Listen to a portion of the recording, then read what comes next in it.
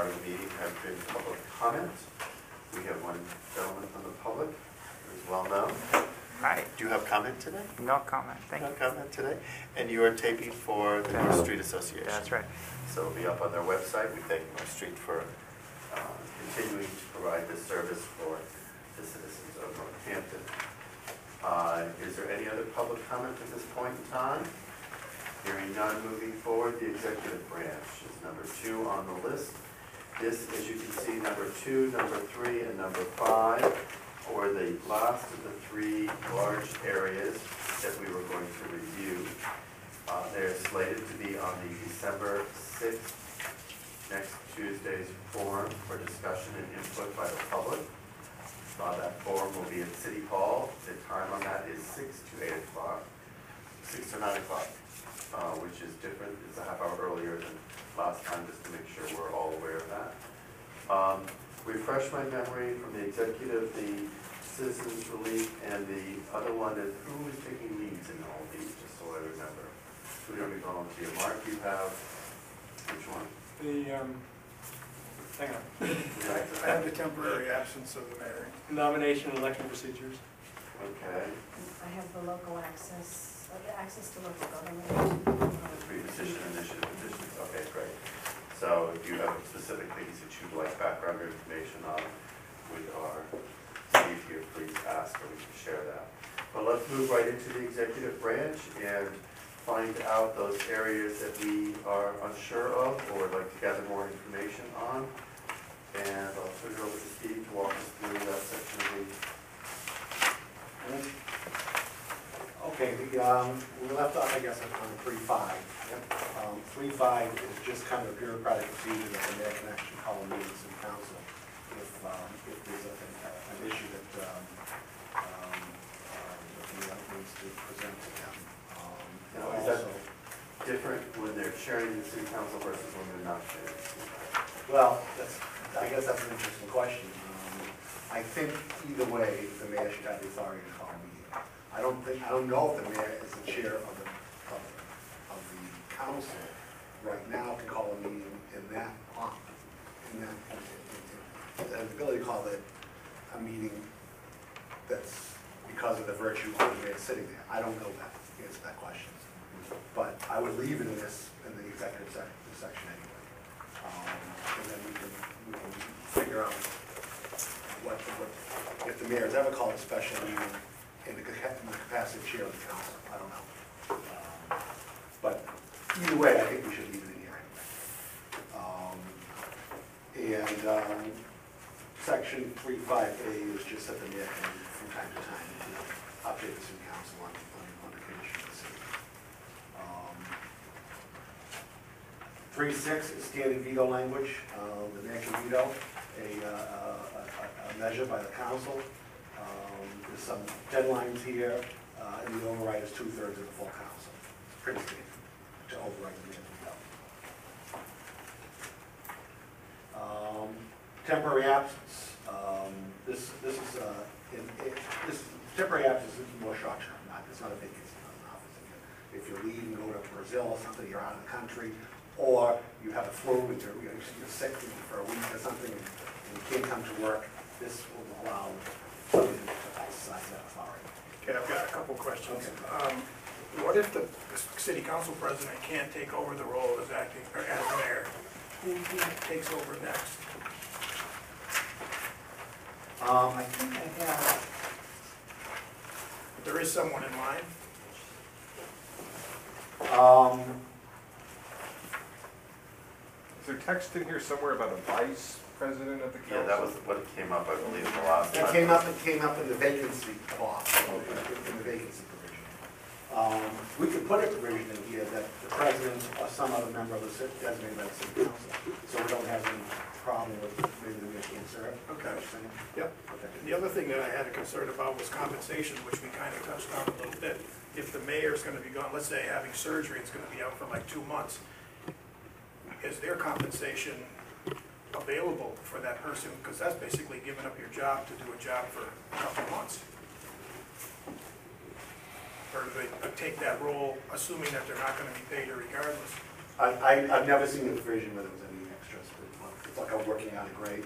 Okay, Um, I've never, I've never seen that.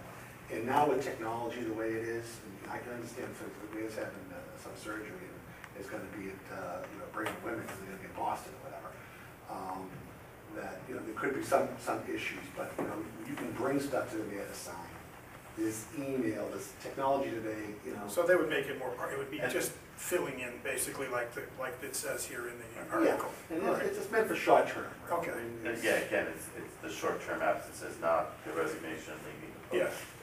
Which is a little different than what we just experienced. I have a question, just generally. Tom, please. I apologize for not having been here uh, when we started this, but what is the purpose of going through this? Is this something that we're looking at as uh, the proposed charter? Yes. Okay, so if I have concerns about some of the language, now's the time to raise it. Yes, Okay, I do, so I'll let you finish, and I'll go back and Okay. tell you what my concerns are. Okay. Um, This is a blanket delegation authority by the mayor, the the mayor can delegate the authority, who is- who is the authority can't delegate is um, if the mayor's on the school committee, you know, he or she cannot send somebody in his or her stead to vote the school. That's, that's right. Um, The vacancy, I mean, the vacancy's gonna be difficult to, to, to, um, to go through, um, unless we decide a two or four-year term. Um, But the, but the timeframes are about the same, you just put them in half. Um, So if you, you haven't, Yeah, uh, no, I just was just, because and if, and if we all decide, suppose that it's gonna be a president and vice president of the council, that'd be easier, just go one to the other. It would, if the this president is, can't this is serve. very then the important, vice- this is more important in this section, this Yes. vacancy. Yes, So, oh, I see what you're saying. um, so they're gonna have to serve at least, maybe not full-time, because, you know, it's, it's, it's, uh, you're gonna have an election. Although, if, if it's a four-year term, the way it's determined here, if the vacancy is in the last two years, you don't have an election. That's a long time, we can, we can, we can tweak that. But that's expecting somebody to serve as mayor for two years, it wasn't elected mayor. And just one other question, as far as like, when the acting mayor, um, it says the acting mayor cannot vote on anything in the city council, well, they- it's, well, that would make it eight, who, who would be the tiebreaker? I mean, is there, it could, could be something there that would be four to four. I think that's just an anomaly you'll have to live with. Okay, no, There's it's, no way you can prevent or. That's what the school committee is now, it's, because the mayor's a tenth member. okay, Yeah, tenth member. And uh, so when I talked to Claire, I mean, she said it was never a tie vote in the school committee ever, in her experience, so. um, I mean, I'm still, I still don't like even numbers if they're permanent. On the school committee, the even number is permanent. This is not permanent, yeah. you know? I mean, so we, we have, and we, we, we discussed that in a little bit in the school committee section, but didn't come to any decisions about how to deal with that. Um, Tom, next, and then Gail. Okay, I have, I'll go, want me to go through each of my comments? Yes. In uh, three point six, uh, three six, the very beginning, we talked about the measure being presented to the mayor. Uh, Is there, when I read it, what constitutes presentation of a measure to the mayor? Delivery to the office, et cetera. So question whether or not we should have some definition um, there. In the three seven, the absence of the mayor, uh, the question in my mind was, well, what is considered an absence? What's the duration? Is it short-term, long-term? If it goes beyond, if it's a relatively short-term or relatively long-term, uh, should we have a provision that says that the city council will determine whether the mayor is absent? So just, uh, uh, how do you determine what absence means? I mean, is a trip uh, to Brazil or something for ten days, is that absence or, or not? That type of thing. And Tom, just on that, is it, is it time length that is motivating you, or, Capacity too, either, either way.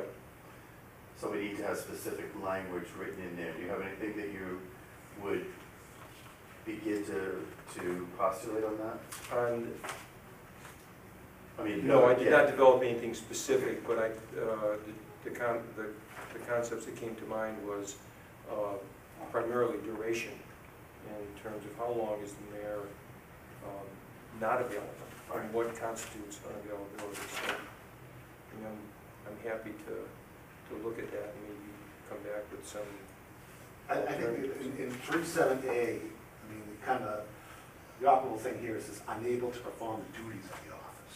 You can perform the duties of the office if you're in Brazil. I agree with you, one hundred percent. It's not the distance, Yeah, it's it's, it's availability. incapacity. It's, it's either incapacity or unavailability. I mean, if you're in the Amazon and you don't have the ability to do it, that's different, maybe a different story. But you're saying that that should be defined in the charter capacity?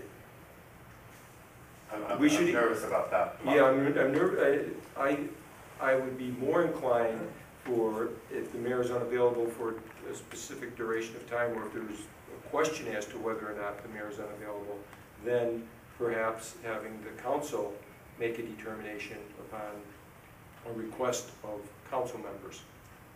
Um, That is a possibility. Does that exist in other charters?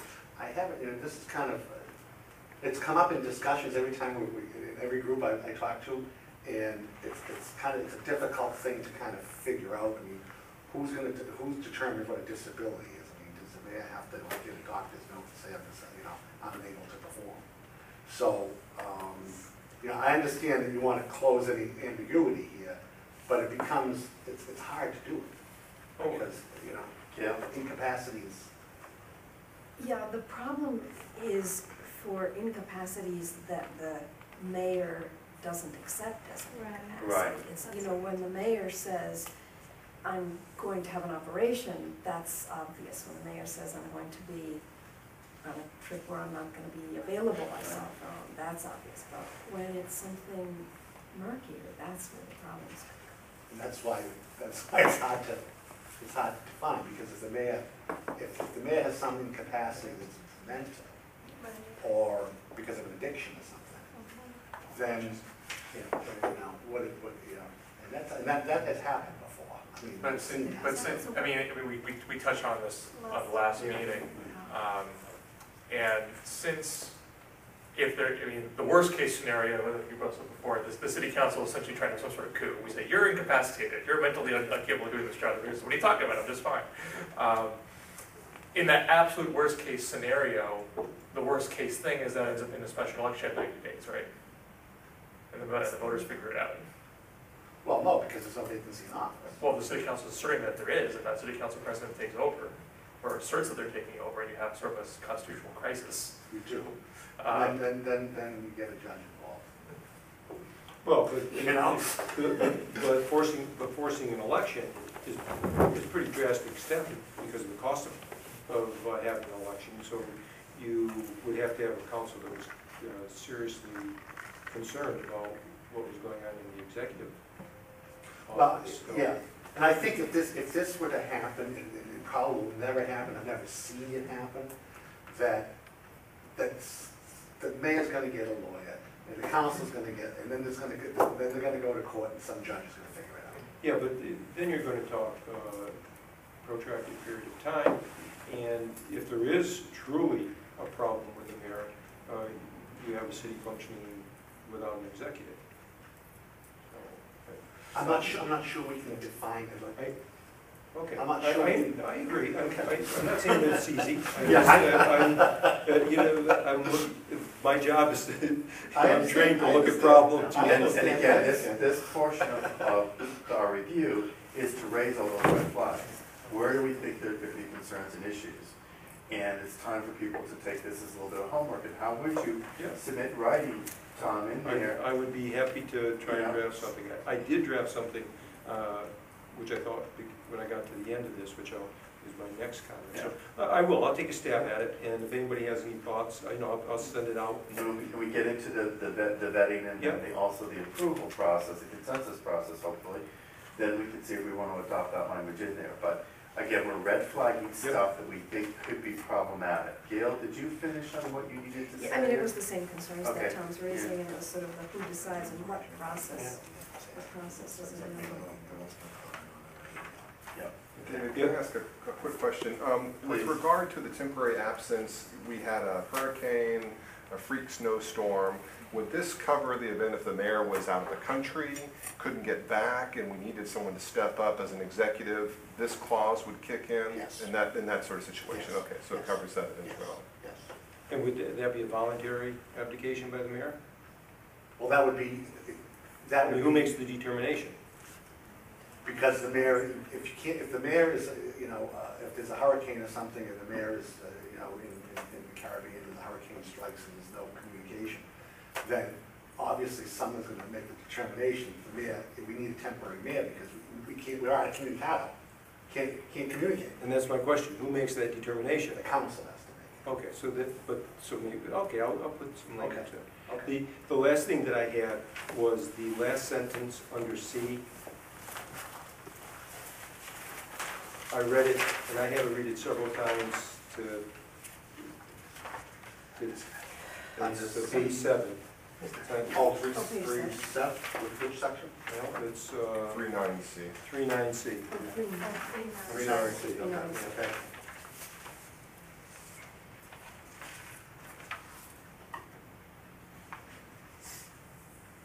Do you wanna just take a stab at it? What's your issue? Yeah. What I think we're trying to say is that if, uh, if somebody, if the city coun, uh, president of the city council takes over, uh, and there's gonna be an interim election before the next election of the mayor, then you're gonna have an election for the mayor. Okay? Is, is that, okay. If- If it's clear to other people, that's fine. If I did draft some language, which I thought made it a little bit uh, at least to me, made it more clear, so I'm happy to Circulate to it, circulate circulate it, so.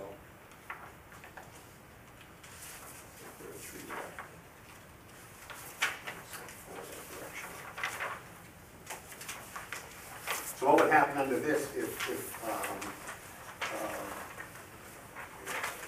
uh, Narkewicz was, was elected, he would be sworn in in November rather than have to wait till January?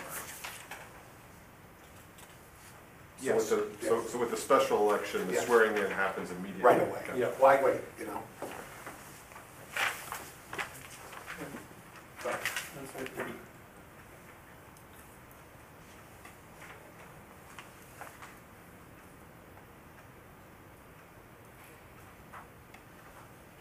let me digest this. Yeah, that's Okay, All right. I just threw it out. Okay. To me, I, I- it seemed like it was uh, subject to interpretation. Okay, All right, other in that particular temporary absence? Delegation of authority to the mayor and vacancy of the mayor.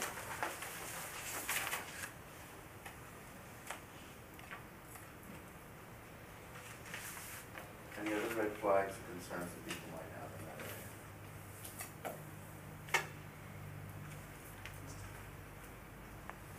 area? Hearing none, and who's doing this again at the hearing? You're doing this at the hearing. What am I doing? I'm doing the, um, absent. three, seven. Yeah. Well, I thought we were all the way up to. And I, you know, just let me throw this out there. Is, is three seven really something you have to deliberate in, in a public hearing for? You know, it's, it's certainly not. I think it's too I late, kinda went think we're through- gonna the public notice out. Right. Okay. I went through, I'll be honest with you, I got, I took some notes and stuff, and, and, uh, there's not a lot of meat on the bone here to Right. put Well, maybe we'll just go right back. Again, Right. I think, People won't want to comment on that. They Prob- just- Probably not. again, there was a lot of discussion in the last two years about absences. We've had, the last mayor was absent for two different types. One when she had her surgery, one when she, um, left office for her other job. And that became the discussion. So I think that there'll be lots of people with opinions. Now, the point is making sure that those opinions get recorded so they fall within the correct area of, of this discussion. So I just want to make sure people are aware of that. There's No, no, there's, and If again, you have was to more of you an have to anomaly. surgery, if you want to resign, you can resign. The way things are done, but I think that there needs, there could be a lot of additional feedback in that area that we need to be respectful of. Do do charters ever uh, refer to areas of the general laws that are available procedurally for making decisions like about your capacity? there are other laws that cover how non-mayors are determined to be incapacitated. Does it, is it a problem to refer it to? I don't, I don't know if any other laws that determine what incapacity Well, I mean, I bet you, uh, when when it says, if it says it in the Constitution, or it says it in the statutes about the governor, it's not gonna, you know, when the governor's inca- incapacitated, I don't think there's any definition in there of what incapacity is. I mean, every case has to be handled as it comes out. You're But- thinking but I more of think like a the section question- nine or something. yeah, Yeah. something like that, so, uh, is there any history anywhere that tells us how a municipality went about dealing with that if it came up? I've never, I've never seen an incapacity issue come up with a, with a mayor, Okay. So we've had, that, that I, to my knowledge, we, you know, to my knowledge. You There mean was- you've never seen a mayor resist the opinion of other people that he or she was incapacitated? Because I thought you said that with substance abuse and stuff, that, that you have seen that. There was an issue in the municipality um, where there was a substance abuse issue, and they just write, they wrote it out till the term was over, and, and and then never ran again. That's how they dealt with it. So there was no, Two-year term. okay. There was so no- there was no attempt to place that person Correct, to the side? correct. Very, you obviously. They managed delicate. it like a family, Yes. basically. Well, I guess there'll also be an option for a recall too, we'll get to that. But if it's particularly egregious, they'll, they're on There's there. a, that- yeah, that's a good point. Okay. Yeah. Right. The recall takes a little while, but it's still there, Mhm. That is a mechanism to oust someone, yeah, right. yes. any other concerns or questions on the executive branch?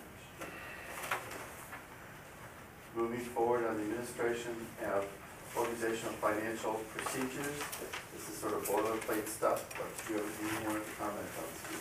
I just wanted to, to make it clear that uh, if there's a reorganization plan of any departments in the city, it has to emanate from the executive. It cannot emanate from the legislative body. And the and the executive, it, it can submit reorganization plans, legislative body, it's up or down vote, but they can't amend it. That just, that just says, listen, the mayor is the executive, the mayor has the ability to, to structure the departments under the mayor. The city council shouldn't, shouldn't, you know, obviously the mayor's gonna have, hopefully have the votes before he submits something, but the, the city council cannot amend it, or, or they can't, or the city council can't create an ordinance all of a sudden says the Department of Public Works will be combined, will be combined with the planning department. That's, that's the mayor's prerogative, not the council's prerogative. So, that's what this is. A lot of city councils don't like this, but, um, this is the way, it this is the way it is. They shouldn't be dabbling with, with real organizing departments, not that, I don't get it. Okay, so that's, that's the point I'm making, that's the only points I make on this, on, on section five one. Okay, Is uh, that, is that different from what the charter does now? I don't, um, I think the charter, well, if- if you look at the charter now, I mean, there's a bunch of stuff in here, because you see the fire chief, you know, there's a bunch of stuff in here that organizes departments and the ordinances. Well, this changes that. You're not gonna have organization of city agencies in the ordinances anymore. It's all gonna be an administrative code. So, it is different from what's done now. is that, are you comfortable with that, Mark? You Oh, understand? I, I think that should be, the policy is a sensible one, this new one, but I'm, uh, I'm just trying to get a sense of what, how much does it represent a change from what we have now? Is it something that could be a lightning rod? Valid point. Um, Todd? On that issue, um, Mary Ford raised at our public hearing that she su- su- suggested that we go back and look at all the ordinances as we do this.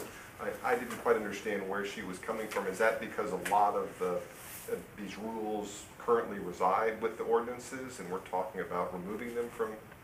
Yeah, if this, if this charter passes, your ordinances are gonna be a completely different, uh, document, completely different.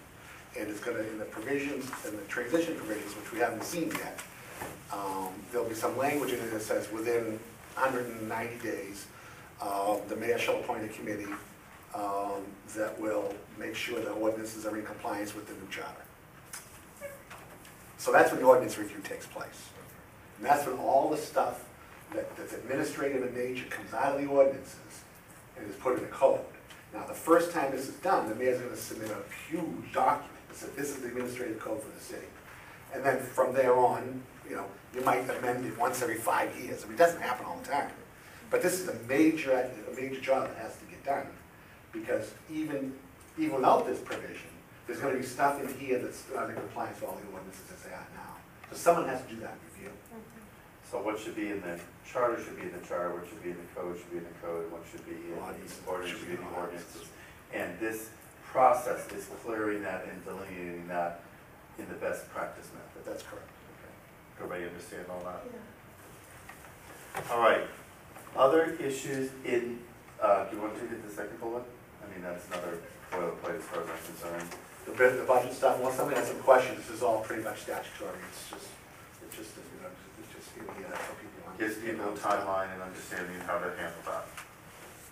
One of the things that this has done, that this does that's um, a little bit different than what happens now is the school committee, the superintendent, the mayor, and the council have to meet before the budget process starts. Right now, I think they meet after the budget process starts, which is kind of like, why do it? Right. Um, So this makes, this makes that change. And because the mayor's gonna have five-year financial projections now and a five-year capital plan, they'll have actually something to, to, look- to look, to, to look at, to say, here's the fiscal condition of the city.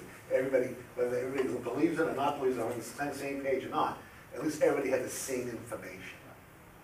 Beginning talking point. Right. So again, it provides the structure that's necessary to have a conversation. Other questions or issues around this, this area? Again, I think it was fairly standard. Now, in the interim, Chief Duggan had communicated with me his concerns and was this uh, the vehicle that should be taken? You all received a copy of the the memo. Um, Mary, yeah, thanks. Um, Mary circulated it to everybody.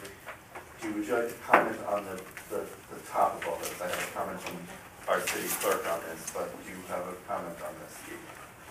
I don't think any of this is appropriate for this. For the charter. For the charter, It should be in the code, correct. okay?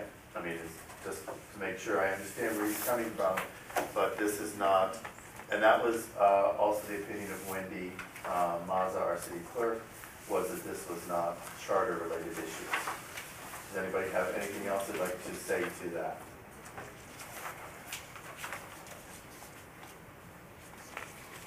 Any concerns or any issues that they have? This will all be addressed, but it Yes. won't be addressed here. It'll be addressed in the code. It'll be addressed in the code once the charter passes, if it passes. Has the chief been, I have not said anything to the chief until you and I met, we all met. yeah, So if that is the determination of this group, then what I would send him is a letter saying, um, as we have been moving forward with the charter, we're working on the charter issues, this is a code issue, please pay attention and participate in the code discussion.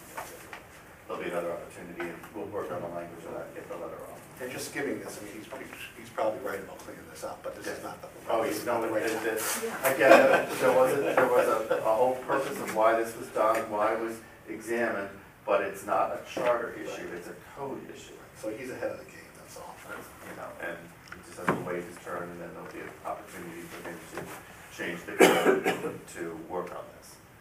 Are we all set on that? Any other questions or issues about that particular piece? All right, number five, election and citizens relief mechanisms. Okay, um, elections are heavily regulated by the state, but you have to have some stuff in the so people in general know, know, how, how, how it, how it works. Um, The one, under the elections section, I think the one major decision that needs to be made, but there could others, um, is whether to keep preliminary elections or not. A lot of cities have kind of gotten rid of the prelims because there's not enough candidates, number one, and they're expensive. On the other hand, I, I think people are so used to having them that it could be a major disruption to get rid of them. Some people, some, some cities have kept prelims for- only for mayor and not for the city council. Um, I think that, the mayors especially, I think, like preliminary elections, because they can see, you know, where to concentrate on their, to, to, to their, their vote, if they, uh, because they know they have, a- they have a couple of months to, to see how the, the results were. But how many, how many ward elections are contested? I mean, how many ward elections have more than two, um, uh, candidates? I don't know. So you can end up having a prelim just for one ward. And, you know, what's the turnout? That stuff, and what's the expense, but, I mean, I, I don't, you know, I have, I- I'm- I have no strong feelings either way, but I've seen special acts passed that will get rid of a prelim in a, in a city just for that year, because they didn't want to, they didn't want to go through. So, Bill? Uh, just as far as recent history here, we didn't have any prelims this year. Um, and the prelims that we've had more recently have always been, you know, one gadfly getting in that no, everyone knows is not gonna win and make making the irritant for everybody. So there isn't, there's been like a, a great love of, or, or a truly classic contested preliminary that everyone felt really invested in. So I wouldn't think it would be a tripwire, um, in this instance, although, again, what do I know? Um, I do wonder, though, if uh, it's worth having a discussion about like ins- instant runoff voting, or if any other cities in Massachusetts have adopted instant runoff voting. Um, I don't know, I, I, I know there's, there's gonna be a constituency in town that, that likes it, likes the concept of it, I don't know if it would be widely shared across the city, or, or, and, and doing a big change like that might end up being more controversial, but I thought it's worth exploring. yeah, and the way we, that, that issue came up in discussions when I was, um, when I was um, at, at, uh, doing the, um, uh, the Somerville um, charter, because Cambridge has proportional representation. Um, Although whatever Cambridge has, Somerville would adopt anyway, they wanted to look at it anyway. Um, But, you know, the way we, the way we were gonna deal with that, if people wanted to deal with it, was in the transition provisions of the charter, you set up a whole other committee to look into that, because that's huge. And then there's to a lot of public input, and, and, and so you, in, in, in the transition, you say, you know, within ninety days, um, uh, X shall appoint X amount of people to examine election pr- pr- procedures in the city of Northampton, including instant runoff voting. It's a whole separate process. But, and, and you can do that outside of this charter process, Yes. it's possible to do. Yes, yes, but you can mandate it in this charter. Right. Right. And And this, Mandate examination. this charter would also mandate that you would then, the city would accept the recommendations No, of that committee? no. It'll just So then how- mandate a review of, uh, of whether the city, you know, make recommendations of, of, of- basically, there's only, this, this majority in this, in this is instant runoff. Mhm. And if they, if this committee recommends instant runoff, then I think it goes, it goes another special act needs to get voted on. Let me, just- so there's not a normal runoff where, say, you have three candidates, one wins fifty-one percent, they've got it clear, but it's 49, 49, two. There's no provision then to have two weeks later or three weeks later, a second, or, or a runoff between the two, two top vote getters? Right. Okay. And that's a statewide rule, or? No, I mean, you can, you can do, Cambridge is the only city left with proportional representation. You know, before, before it was, you know, uh, a technology, I mean, it would take them two or three weeks to figure out what the election results were. Um, But, and, uh, you know, people really claim it's the, it's, it's the fairest form of election. Um, But, um, you know, we had somebody in from Cambridge to explain it. And after, you know, forty-five minutes, everybody's glazing over, it's like, do you know, you understand what he said? It's very tough to understand. I lived in Cambridge for eighteen years. Okay, all right. I, I like the system. Oh, yeah, yeah, people love it, but it's, it's hard for people to really grasp it when they haven't been in it. Uh, But it's a major shift, and it probably should be in a separate process in this one. Let me, let me just, uh, so how would that work when you've got an election for mayor? How would proportional representation influence the outcome? Cambridge doesn't have a mayor. Or Um, a council member, a ward, uh, you know, I can explain to the council. If you have nine members in the council, and you had fifteen people running, and you take, you, you take the fifteenth person, the last votes, and you just say, okay, that person is fifteenth, he's not gonna be on the council. Take his second place votes, and now go and distribute that. And then, okay, now the second, now the next person, then you eliminate the fourteenth person. Because that person, now add the second place votes to that, and all the other people who were left. And as you keep doing that, then, and then the other one too is when that person, and you keep going up until you're left only with nine people. Who So are you don't get the nine top vote getters, but you keep re, get a keep weighted. redistributing Okay. the second place votes of the, the next group of people. Mm-hmm. And I would think that would be up for mayor too. I mean, For instance, San Francisco, they just switched their, their election process to that. They, the first mayor's race with that. Right, okay, Yeah, you're right. I don't know I mean, they had sixteen people for one slot, they s- took off the bottom. I mean, I think, I think you had to, you had to voted in a ranked order. I don't know how deep you had to go, but you had to give some sort of ranking. And, and voted. the, so the, it, it is a higher cost because you have more to track.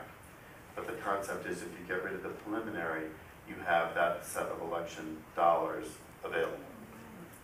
So, in the, for what it's worth. So the proposal at this point in time is we need to take it on directly. But what I'm hearing from Steve is that we would put this to a study commission that would bring it up in a separate process because of its com- complicated manner, that it is a major change to the charter and to the way Northampton has done business. And it should be done in a, um, its own, uh, it should be on its own track. Does that make sense? There's, a- there's an organized group in the Commonwealth that are going around and, and, and- and pushing this type of, and there- there- certainly we're, there are a lot of people in, in, in Somerville that wanted to examine this thing. Um, But I think the statewide association is something of people who are pushing this type, to try to get this type of voting system in Massachusetts municipalities generally. Um, But if they show up here in full force, uh, in the next meeting, we'll see. But, You know, if, and no one's really pushing for it, why do it? I don't know. Yeah. So the, so now, there's one remaining confusion for me. Let- Let's say we take your advice and leave it for a later time. Will the charter need amendment again after that later time? Or do we somehow write this that, Well, the- or, this- or do we completely, The special act is passed to change the voting, will also fix this and say, that the special act will say in section, you know, um, of the, I of the see. charter, of, of I see. section six, whatever, blah, blah, blah, shall be, is, is, is is amended. So that would be one of the, as opposed to the major charter change, one of the minor charter changes that you put through the legislature, that would be the vehicle to be used. Yes. Okay. I have heard that people are interested in it. Okay. If we go in that direction, are we uh, asking for similar problems to what we have or currently with a hundred and twenty-year-old charter? That uh, it's been amended and changed by special acts for decades, and that's what makes it so cumbersome. And If if it is an issue that is a serious issue, uh, I think we should at least consider it a little more than just uh, passing it off. I don't know if people are interested in that, but it, I, I thought, I, in my mind, the idea is that we should try and deal with as much as we possibly can anticipate in this that belongs in the charter. So my suggestion, we have a public hearing coming up on this, with this being a topic. We'll see how that plays out. And again, we're not making decisions at this point in time as to which direction, but we have two options. One, as Tom said, maybe to deal with it and incorporate it into the charter. The second is to send it to the study commission, who would then take their time and come back with, with a proposal to the special charter, special act, uh, whatever it is. But- And, or the third option is just, if there's a groundswell of support for this, let people do it on their own. So, it's out, yeah, it's a referendum, so that's, that's another way of going it. So, um, again, I wanna move on, but if we're comfortable with that spot, who's running this, this part of this? Good luck, Mark. One one further question, but there is an option to drop the preliminary elections altogether. You're saying a lot of towns have gotten rid of that just to save money. Correct. Okay. And the downside to that, to dropping it? I think people like them. As a former elected official, I like the fact that you get elected with fifty-one percent of the vote. You know, I, I just think that that's important. Um, You know, when you, when you have somebody being elected with twenty-four candidates in the race and somebody getting elected with twenty-six percent of the vote, especially for something like mayor, that makes me concerned. But don't we, okay. Um, So- Has that been an issue? Have there been So if- runoffs for mayor? Um, Right now, that, on that election, day, you only get two people. No, but in, in recent history, have, have we, has that been an issue for Northampton where you've had? We've always had preliminaries, so they've, we've always waited and, and brought it down to two or four, which depending on the the particular race. It's just, that piece of it, should the preliminary not, I would think would be dumped in with this. That if you go to this new form of voting, then you would need the preliminary, That's correct. okay? Uh, But I just, my personal concern has always been that, that you could have four people running for mayor. Um, And again, we can't look at personalities of the shorter time frame, but the larger time frame, as Gail was, was trying to point out the other day. What could happen if we had three or four people running for mayor, somebody could get elected with twenty-five percent of the vote? And is that a good thing, or is that a, something that would be problematic? And my gut is, I just am nervous about that.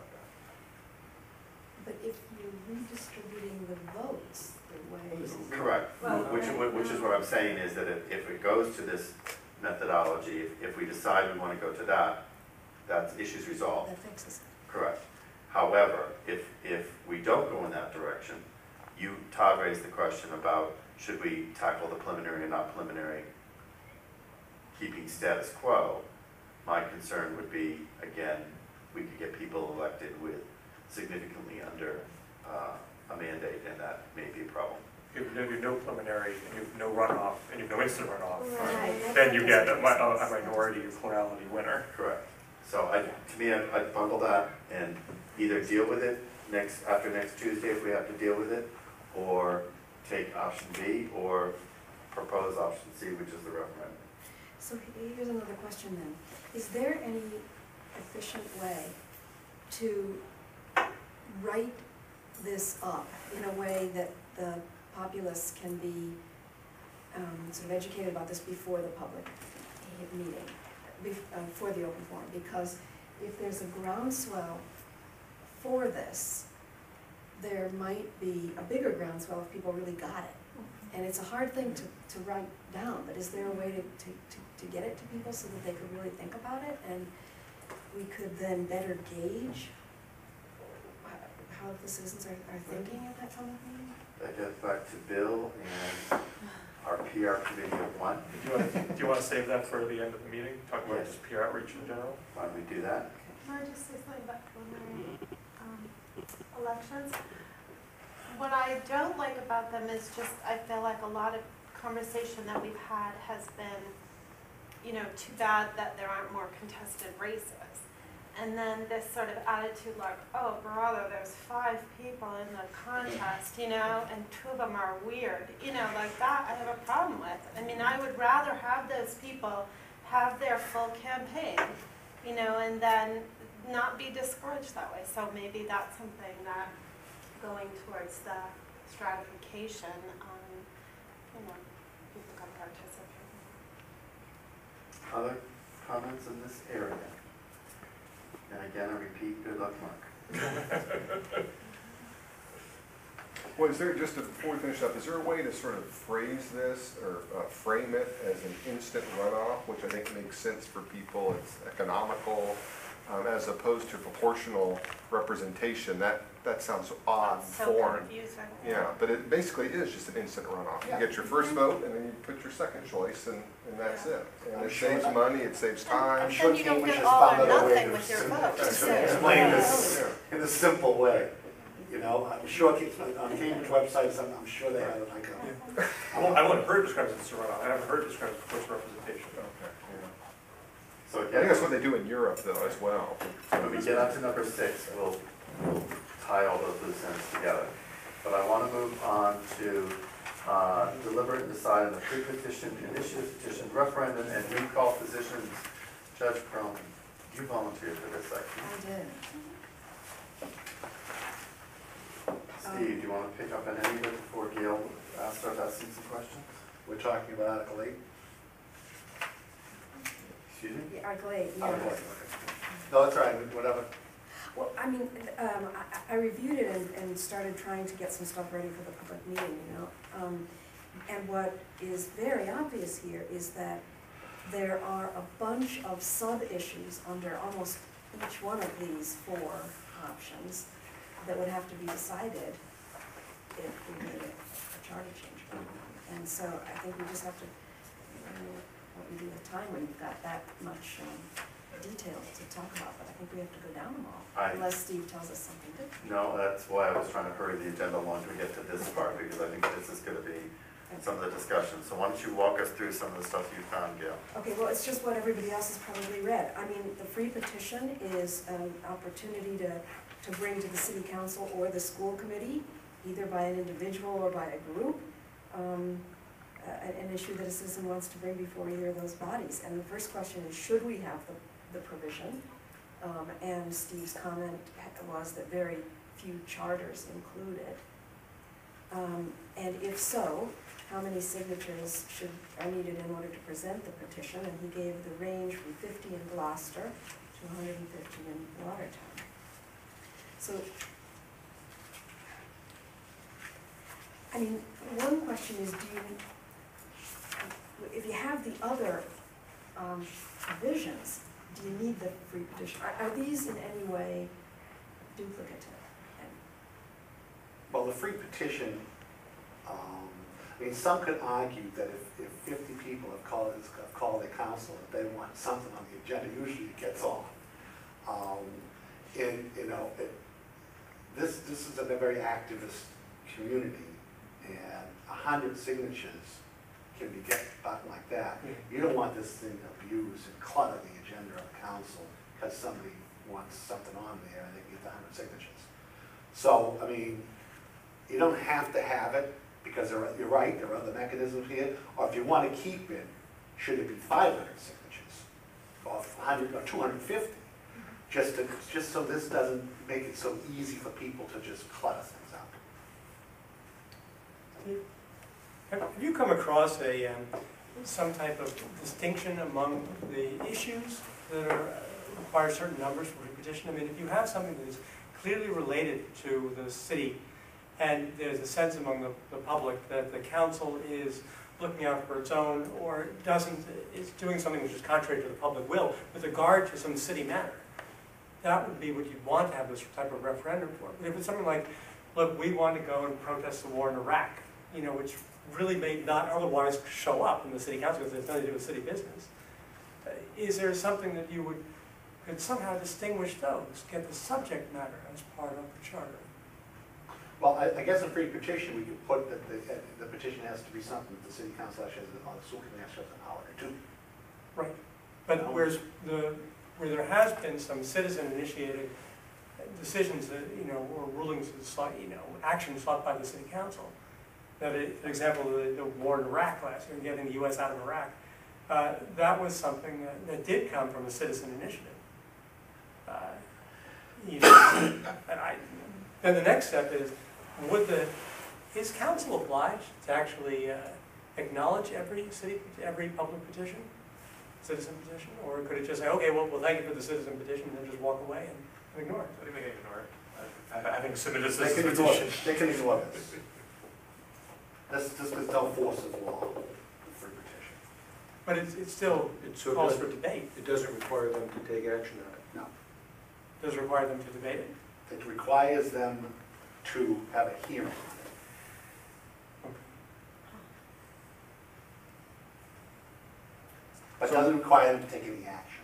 Again, we're, we're gathering information, we're not necessarily mo- moving towards a decision. Gail, where, where are you on this? In terms of what other information do you need if this were to come up? Um, A comparison, I think, between the free petition and the initiative, because the, the free petition seems to me an easy way to get the ear Yes. of your elected Yes, officials. yes. And there's something appealing about that, but at the same time, it it could be, it could be abused. The initiative, which is the second uh, um, method of access, is a request to the city council or the school board for a particular action, and it requires a percentage of voters to sign, a percentage of voters to sign a Very petition. higher, It's a high, so it's a higher s- yes, standard that has to be met to get it on the table. right. But that, in that one, if that um, request is enacted, it, it is required to take effect. If, the- if the school board or city council takes no action, it automatically appears on a municipal ballot. So it's a more complicated way, but it can't be ignored. Correct. Yes. You're kind of taking, the, the public, the, the the voters are taking some of the pu- uh, legislative action. That's, and that's why this is, this is designed. Now take it to the It's designed to referendum. be hard, but not impossible. Juxtapose that with a referendum. Well, a referendum to- wants, the the referendum is to reverse something they've already done. A citizen initiative is to have, is to, is to make them do something, Initiative. Well- to init- to initiate something. Referendum is to reverse something. Or to affirm something, but that would come from the, from the body itself, right? A referendum, The referendum is the same, it's the same, it's the same type of thing, you need sign- signatures, and fifty percent of the voters, it's kind of the same kind of process, but it just, it just reverses something they've already done. but what does the part mean? If you look at the the referendum section that you, your explanations, it says it's to repeal a measure enacted by the council or to affirm an action taken by the council before the action takes effect, to affirm. I don't know what document you're reading, I don't think that's my document. Somebody gave us- Somebody gave us this little, this lengthy. Did I do this on my own? I think you might have. I'm saying that's not good. It's been a while, but this just says citizen relief mechanisms and charters. You sent that to me, I sent it on to her because she was, oh, oh, person oh, overseeing no, that this. came from, that came from the Department of Housing and Community Development. Not, I didn't write that. Oh, so in our referendum, it's only a, a repeal Yes, thing? yes. Okay. Okay. So that's not at all similar to these other first two, if you're asking for a comparison. Correct. Because it has a very specific. to re- to repeal a measure that was passed. Mhm. The recent example of that is seventeen years old, the DPO. Domestic partnership ordinance was passed by city council, citizen collected information, said we want to repeal the domestic partnership ordinance, and they won by eighty-something votes. So here is an example of how many sub-issues we would need to tackle um, to talk about this one. Because that referendum issue appears on the ballot at a regular or a special municipal election. Steve, or some, somewhere I read that most city charters include the referendum, but that it's rarely used. And the issues are, do some issues require a referendum? Are some issues excluded from a referendum? What should be the percentage of voters to petition for a referendum? Should the council have an opportunity to reconsider its action? It's all in there, all that stuff is in here. Yeah. Yeah. And should a certain percentage of voters participate in the election for its results to be valid? So those are the policy issues that Yes. we have to decide. Yes, signature requirements, uh, percentage requirements, and those are, those are the things we need to decide upon. But we already have that in our charter, Yes. don't we? So we're Yeah. just talking about whether or not we change, Whether or not we, and I, I need to, I need to Do we up the, do we To up up the the signatures, the percentages, do we want to play with any of that piece? But it already exists in our charter as a mechanism for citizens um, to voice their opinion. So these numbers that are included in your draft, were those lifted from your boilerplate, or are these the current? It's not your current ones, these are listed from, from, from boilerplate that I have. And do the, and does your boilerplate increase or decrease the the burden on? on I don't know. I'd have to look at that. So, yeah, so we do, we do look at that. So presenting it then to the, to the public forum is simply, uh, hopefully a matter of saying, we already have this.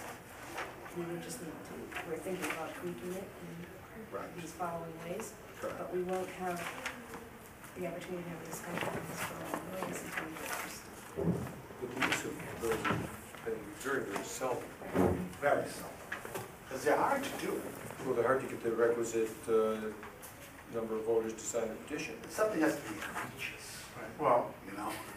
well, the other one that was used was not what the CPA got about. Who we call the CPA.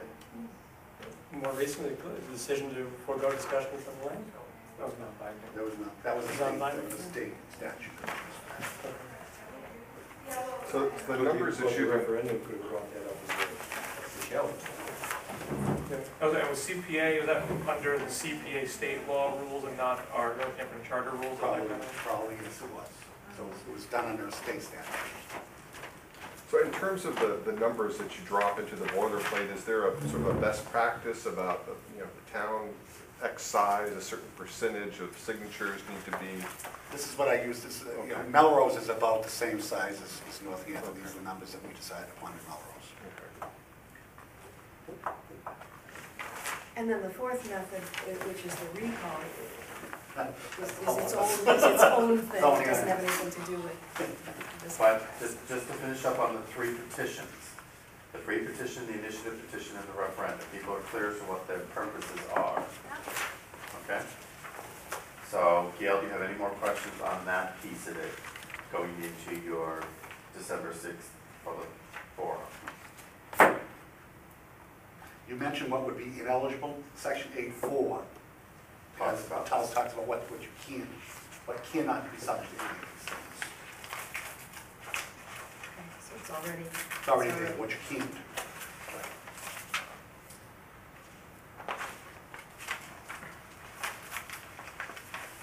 So do you want to move into recall? And this is we began to talk about with the vacancy issues, and we talked about a little bit last time, when Steve wasn't working here, but this is the procedure to remove an elected official before the end of the term. And the information is that eight Massachusetts cities and hundred and thirty towns have it, and that it's not often used in cities. Can you help us understand that?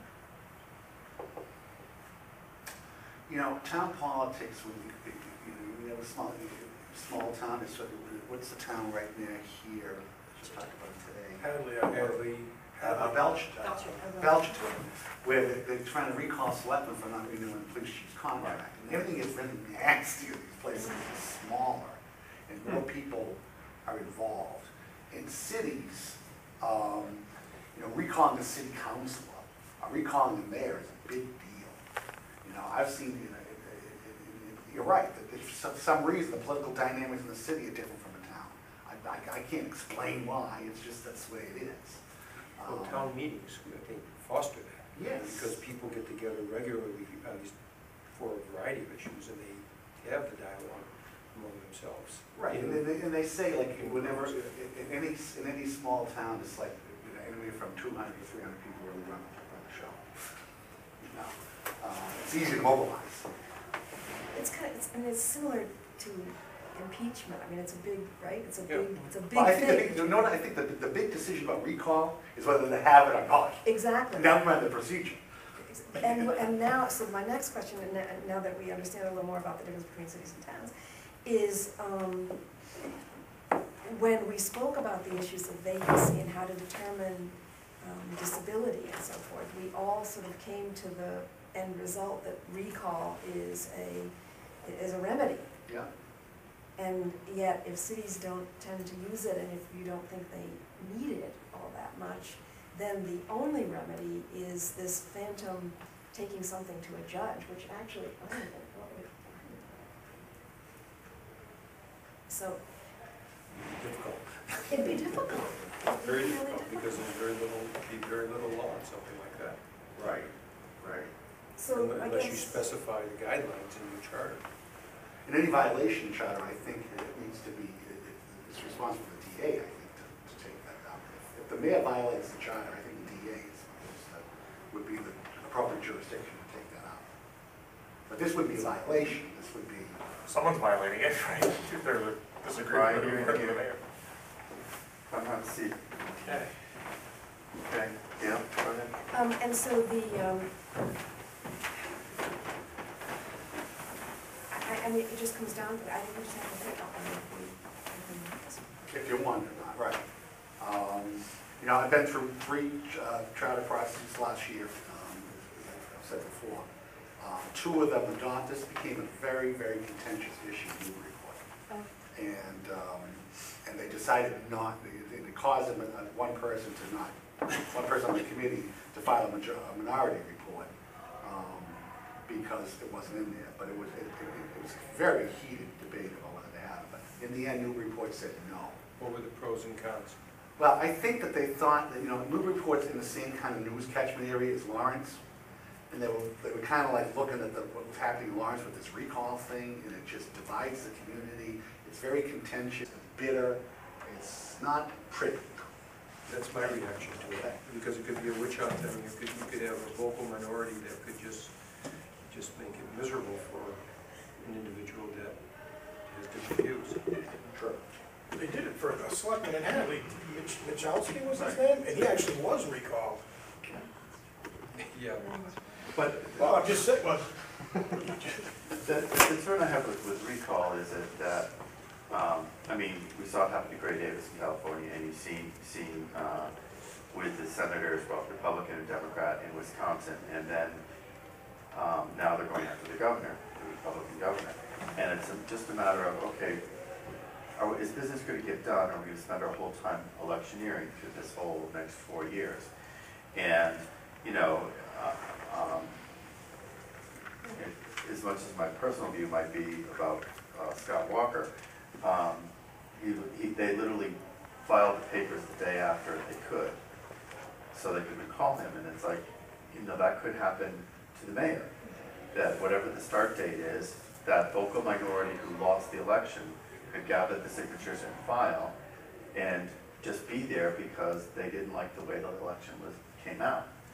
And unless that number is very high for recall, it's, it's something that could easily be put on the ballot, and all we're in is this long election uh, fight that keeps going on past November.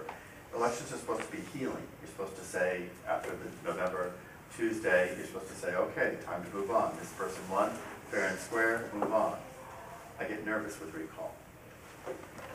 Just to follow on that, I think the first meeting we had, we talked, there was some issue of, um, or some proposal to, if- if uh, elected official was convicted of a felony, they would lose office. Yeah. And I think a number of people were uncomfortable with that provision.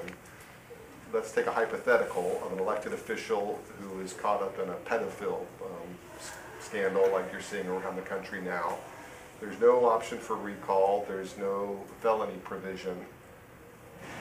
Right. Do you wait two years to get rid of them, or- It's an, it's an accusation, It's an you're not, haven't accusation. convicted.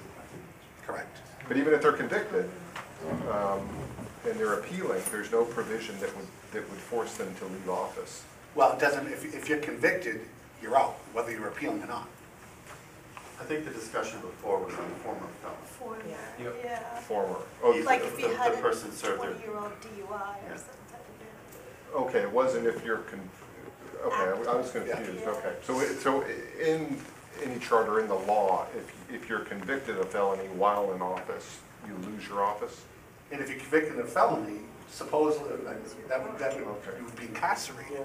And the state law says anybody, any elected official that's incarcerated vacates office. That's already in state law. Other areas in this recall concept that people want to red flag, raise, articulate? Well, I think it goes a little bit to uh, length of term. You know, I mean, we've heard arguments about a two-year term, a four-year term.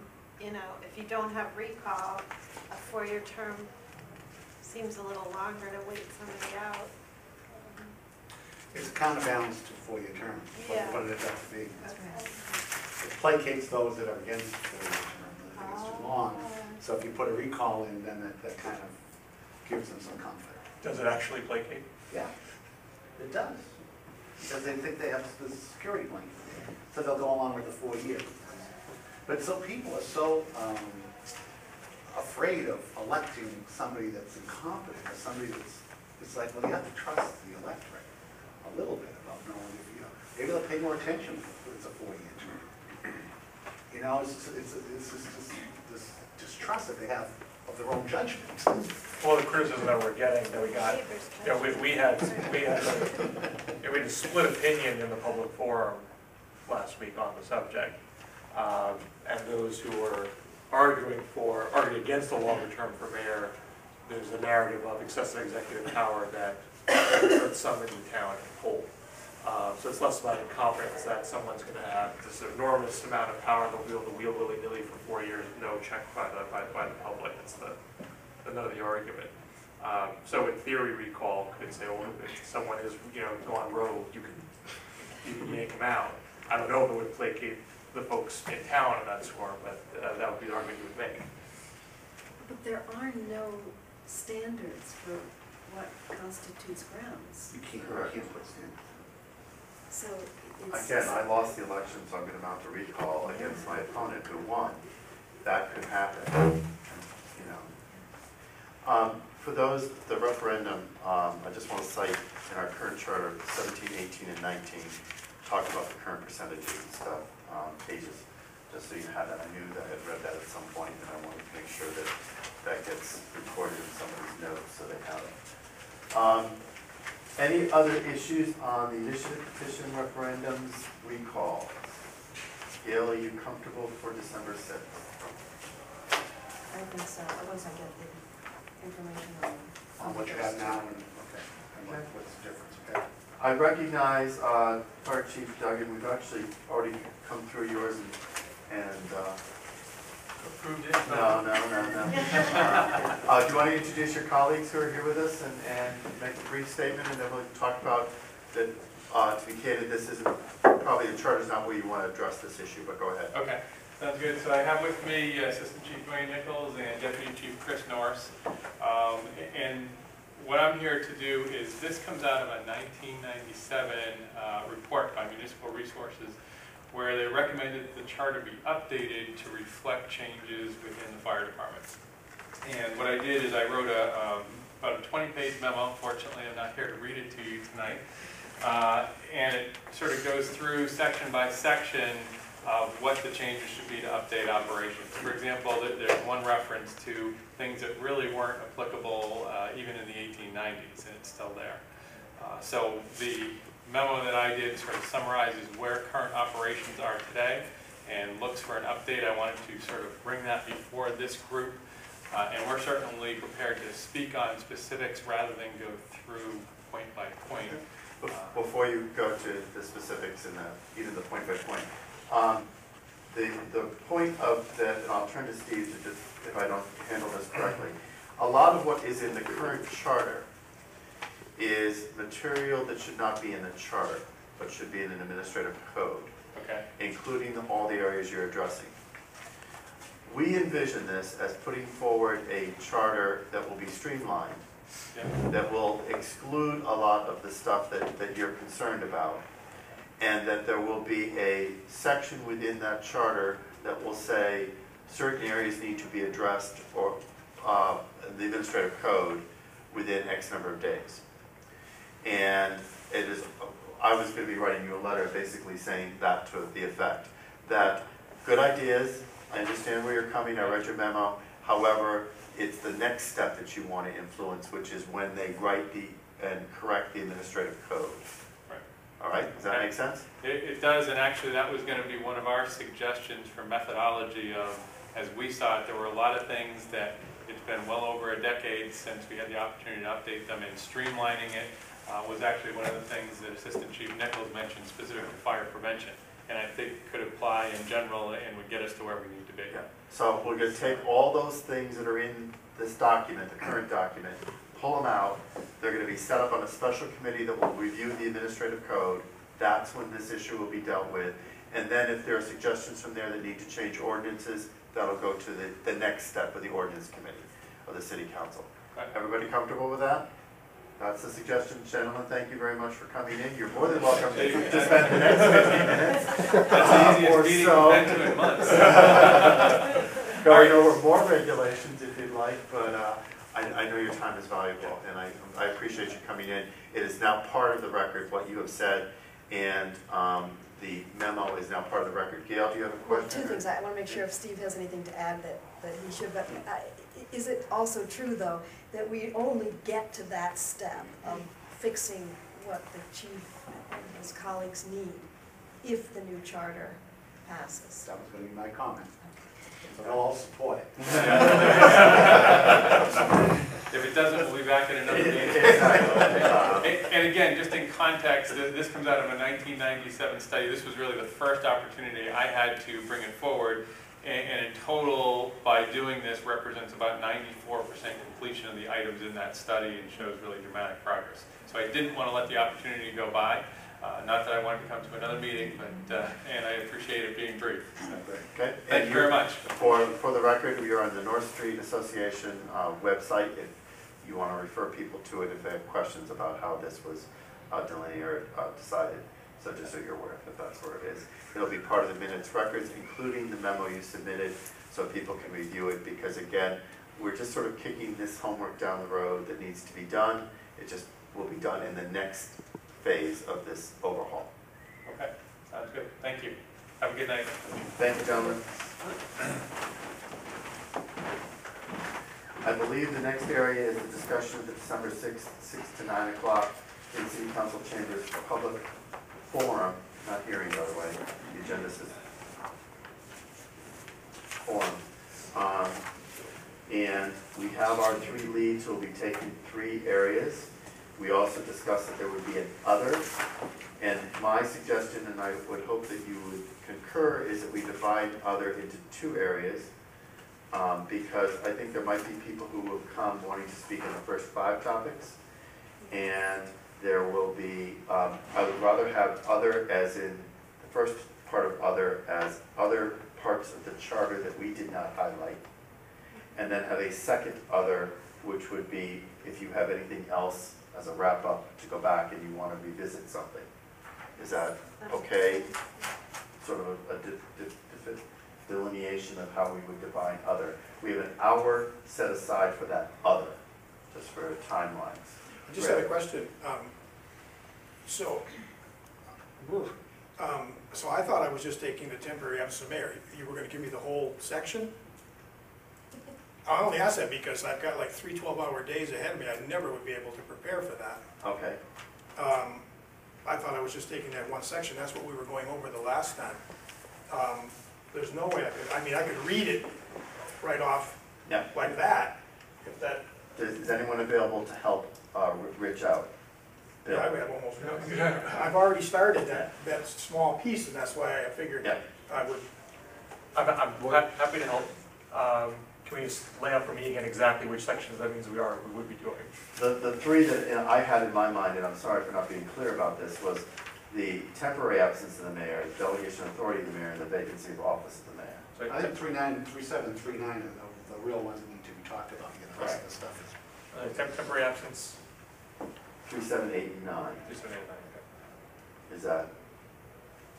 And you were, Red, you were comfortable on going on which one? the three seven. Three, seven, Yeah. okay.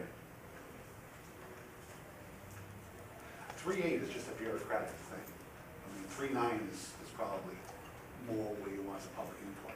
Now, Tom, are you available? Do you want to help out here too? I'm willing to help. You I'm I'm happy to not do it. Okay, then I can uh, ask Tom. Um, that was the area that I had some thoughts on earlier. so- Perfect. So if you could pick up on the vacancy of the mayor, okay? And uh, we'll, we'll just separate those two out on the agenda, if that works for you. Because basically, what I had put down for, what I was planning for the temporary absence of the mayor, basically don't even hold water. I was almost after reading it afterwards, just read it as it is, you know, you looked at for charts and stuff. Because I remember the questions that I asked you, I was going to, um, uh, like compensation about who should, you know, the council president. Right. I mean, I know it's to get a discussion, um, so I was kind of asking questions, but that, that won't even be necessary, that just, I could just take the, as it is and just read it and ask for comments and, And we can put it up on the, as it is, right, right, we'll put it up on the uh, screen, screen. okay. We probably won't get a lot of. I think didn't the think- well, that's why the there's not a lot vacancy- there. The vacancy will probably get more discussion than the temporary absence, I would think. But the vacancy is gonna be hard to describe when you don't know what the term is yet. So, I mean, on the vacancy, you're gonna have to say, well, if it's a four-year term, we have to say, well, if it's in the first three years, or for the last year, or for the two-year term, if it's within the first, you know, eight months, and that's what we get. I don't think the public really wants to deliberate that, I, I don't think, but they, I guess, well, I guess, I guess they could say, well, we don't want a we don't want a, we don't want a temporary mayor for more than a year. You know, because two years is a long time, if it's a four-year term. So, I mean, those are the decisions you have to, you have to, you have to, you to kind of put out. It's, it's, you know, when do we, when do we want to, when do, what, what's the trigger for the special election? What's the trigger, what, what's the period in time of the term that triggers an election? I guess that, that kind of sums it up. Are you available to talk with me about this? Of course, you have my, that way you have my it's- contact information. So we'll, And what we have done is we've produced a slide for each one that goes up on the PowerPoint. Richard, if you could figure out what you want on that slide, Okay. Tom on your slide, and then we'll, we'll just give them to Mary and they'll pop up. They'll be posted ahead of time and then they'll pop up on the screen, so people have that visual in front of it. and when do you need this by, Mary? Friday night. Preferably, well, yeah, I can wait till like Sunday night, that's fine, and then get it to Mary Monday morning. But it, it's basically what this section is going to say. What, what you want the public to see up on the screen that will lead to discussion Got and it. input. I mean, for the, for the one we did last time, they were all sort of roughly pro-con, there were different choices that we had.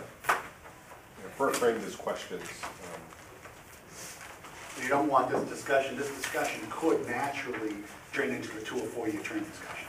And you don't want it to go there. Well, if Well, if you, if you do, you you know, that's fine, but I mean, So one of the, some of the formats of these are all posted, you can see. Yes, them. I read. Okay, you know, that we did for the questions, so that's what we saw, and each lead took a uh, stab at writing this.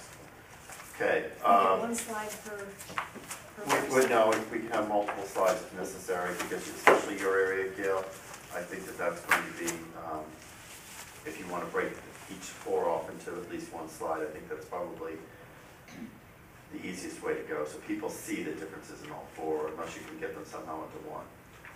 Yeah, I, I can't get them into, I can't get four into one. You could maybe get three into one if you, if you're thinking along that line, just so people, I think it's, what's good is to see the difference between those three vehicles, you know, And do recalls, it's on. and then do recall over here, sort of the, the, but, you know, that, the, I always get confused between the free initiative and the referendum, and what's the purpose of those that you wrap your head around. so Gail, were you, you, you want, did you want to actually discuss what the number of signatures should be and? Well, I, I don't think we can do that. I don't think you should. No, I, I, that's much too detailed. You should say, I do you think for want, I mean, us- the thing with the public is gonna say, do you want free petition? The public's say yes. You want it, yes. They're all gonna say yes, because it allows them to participate. Well, what we did last time was we, we laid out the pros and cons Okay. of each option. And I think it would make sense to do that here, but if we have time, I'd like a little input from everybody on pros and cons of the three. Yeah. Although it, it sounds like referendum we already have, and it's not likely to go away, And it sh- probably shouldn't. and it shouldn't go away. Right. The only one is, the only one I think is free petition and recall at this point. I, I think you need initiative, I think you need referendum. It's the recall that's gonna generate most of the chatter, and, and the free petition, you know, is, you know, is, could be dangerous here. So, but people, you know, if you put it out there, the public's gonna say, yeah, we want it. But, you know, this fifty signatures just gonna create havoc. I don't know. I mean, I. So, but, but it's, but it's very easy access is the pro. Yeah. And the con is you can clog up the work of the city council, uh, very significant. Well, how, how is that with the Iraq War um, issue? How did that appear on the agenda of the city council? Was that a council member who got I it thought, on? I thought it was a council over. No, it was brought up by the public. Okay. But did they have a mechanism to do it, or they just did? I think they asked for council to submit a resolution. I think that's how it went down, I could be wrong. Um, And the council submitted a resolution that needed affirmative vote by the city council. And then there was debate whether that was relevant to the city council um, jurisdiction. And the, the, the bank on that was that we're sending our tax dollars and having less local aid because of wars. So the So- petition would only kick in if Came that the group National could not Priorities find a Project. council person, couldn't find a, a council member willing to submit it for them. Correct, and then your So- free petition, again, if you read the language very clearly, it says that they may or may not necessarily, they have to hold a form on it. That form could be fifteen minutes. You know, it's not like they're, Right, right. you know, they have to hold a forum, well, that's great.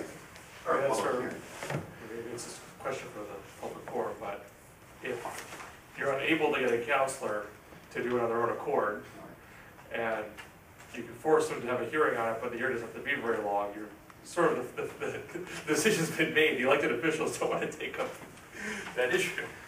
They're not gonna have any affirmative resolution, you'll, you'll get your ah. fifteen minute commercial. Right.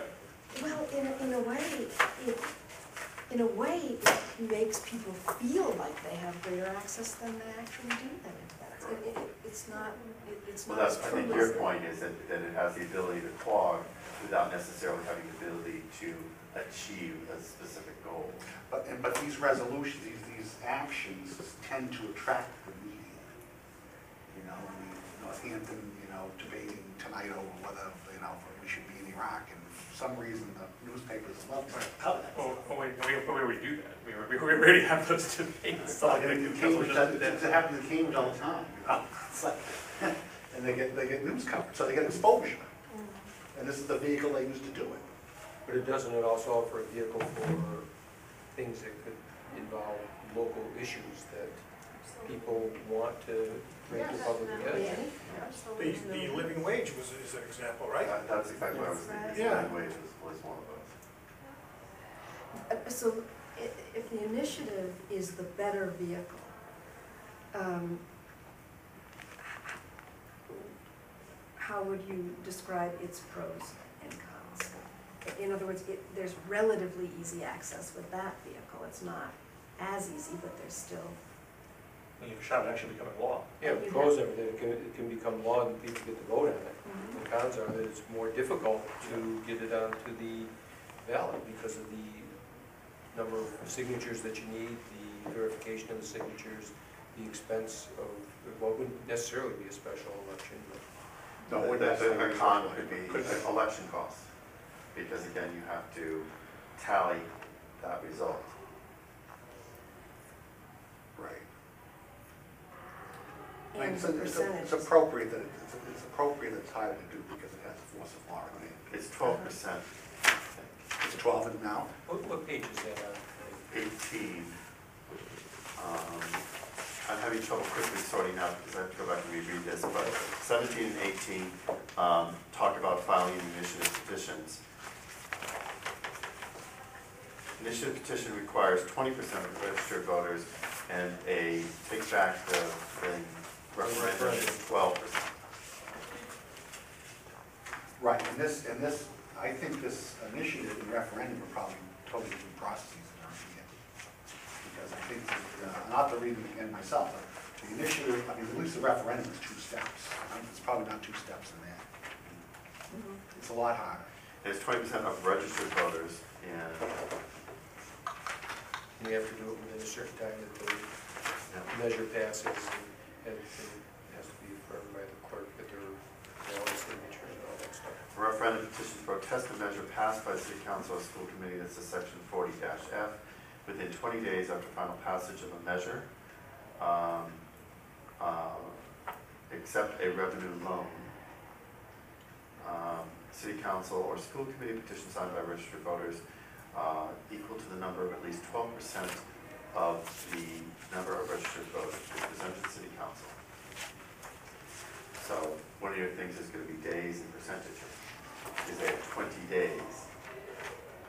This is the referendum. Or simply saying it's, it's, this, this makes it a little bit harder than what we have. I mean, getting into the minutia of how many days and all that stuff is probably, I don't know if we we need know to. that, whether we need to, is just say, we've made this a little bit, a little bit, um, uh, more difficult to do. And we've, we've, we've, the language is, this, this language is probably so old that I'm not sure if we submitted to the AG that they would approve it. Um, So this is, this is language that has been approved by the Secretary of State's office and the Attorney General for procedure. Steve, could you just clarify, in the, in the current initiative, according to David, it's twenty percent of registered voters. In section eight two C, line six, line fifteen, you have ten percent for the, That's, so are you, are you be lowering the threshold in that second phase? Yes. Okay. This is section forty C, it's page seventeen. Authorize actions by city council or school committee on receipt of initiative petition, signatures of twenty percent of registered voters. Now, is lowering it to ten percent gonna encourage more abuse, or is it still a pretty high threshold, high hurdle to get over? Twenty percent right now would be about four thousand voters. uh, we're somewhere between eighteen and twenty thousand people, so thirty-five hundred to four thousand, um, people would need to sign it.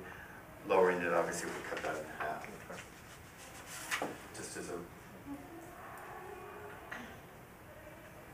And the twenty drops to, I mean, it's interesting that these are in our charter, there's twenty for that one, and it's twelve for the referendum. And The referendum is different because you have a short, short period of time in which to get your signatures. The initiative. It's open-ended. Yeah, you could take weeks or months to get your signatures. Now, this, this, now this will encourage, hopefully, the city council to take some action, so that we're gonna go forward. If they don't take some action, then you have to go and get five, more, five percent More. More. Okay, so that's in section E then? Yes. Then you have to- And is there- Yeah. Yes. I mean, you would hope the city council by that time will have caved. And, well, depending on the issue, I guess, but, you know, if this, if this is a ball of fire, they don't want, I'm sure they don't want to be told what to do through it, through, through a, This actually gets really complicated, if it's more than eighteen, eight percent and less than twenty percent. yeah, it gets complicated. And anything, and then any of these elections, if, like I said, you'd have to have twenty percent, at least twenty percent turnout. So even if you did everything right, if you don't have twenty percent out, too bad, it doesn't go into effect. So there's all sorts of little safeguards in here to to guard against frivolous stuff. Now, Gail, are you comfortable with the material you have for Yes, but I slides? will. Okay. Okay, we have that document, you can work with, with, uh, Steve on some of that as well. Now, Mark, you're being conspicuously quiet over there since you've got the middle one.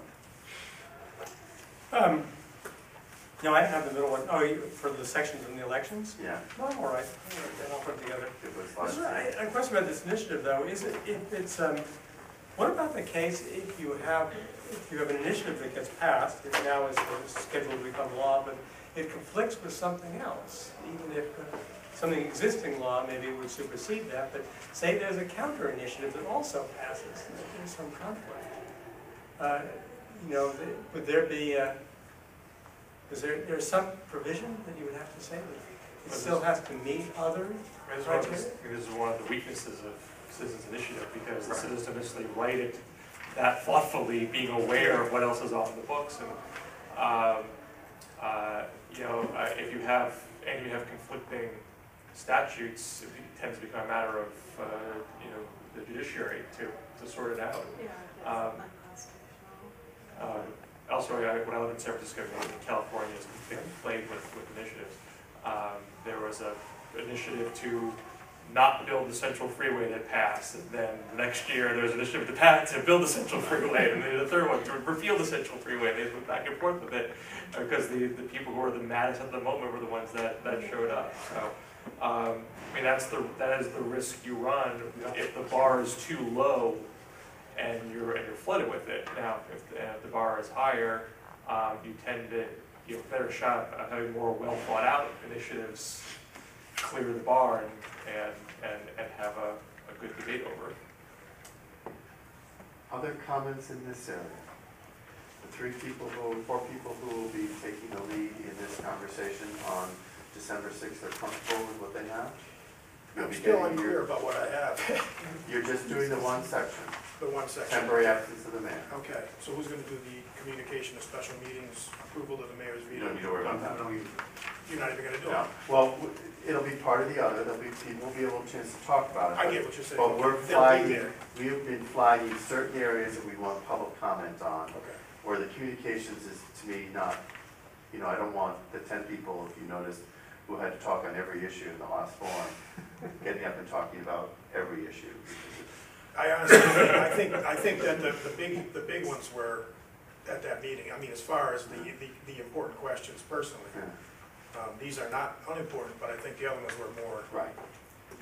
fresh. I mean, we might blow through these faster I think so. and have more time for For sort other- open floor. Ma- Look at, I think your, your question can be uh, addressed in section eighty. E. Conflicting provisions. It's only a matter, only a matter that gets the the highest number of votes. So if two things are in the same election, Oh. contain conflicting provisions, only the one that gets the most votes uh, will prevail. Okay, are we right or wrong, that's what, what is in the proposed charter. Okay. Other questions in the area of the, we have a lot more to talk about under the public forum. So I just want to make sure that the four people doing the slides will get me the slides by five o'clock on Sunday. Now, I want to take this opportunity just to, to remind people that um, we can have conversations by email. If they are, um, we're canceling the meeting, we're moving the meeting forward, we start offering opinions, you're just getting, you're, you cross the line. So, um, into open meeting law discussions. So all discussions need to happen in these forums, not necessarily by email. Is sharing information. Share information. So we're, we're doing a slide, bad? when we're sending a slide around to take a look at, as long as you say the punctuation is not correct, you haven't spelled the word correct, or you might want to include this provision. But once you start debating the provisions, then you're, you, you, we're really pushing open meeting laws here. Um, a related question, forgive me if I'm gonna chew up time. Now, Um, here we have plenty of time. Um, we're gonna start voting on things soon. Yes, Um, if we have ideas that are essentially sort of new ideas, ways to have compromises or novel approaches and whatnot, yes, and we want to give people a chance to chew on them before having to discuss and vote on them, yes. is it appropriate to send those by email to the group if, if, if we, if no one's gonna respond to them and give their opinions about them afterwards? Steve, Mary? Thank you. That's not, that's not appropriate. And, you know, and the other thing is, this group is not required to vote on anything. You're not, you're not really like a governing body that's, that is force of law. I mean, I've run these processes where there hasn't been any votes taken. It's just, is everybody satisfied? Everybody live, can everybody live with fifteen percent? Yeah, okay, let's move on. You don't go roll call vote for everything. We pretty much, Unless, unless you can't come to consensus on something, It's just consensus cannot be, you know, um, um, reached. Then you go to a vote. Now, I, I turn to Mary for any other comments on the open meeting part of it. Anything else you'd like to make sure that we are within compliance on?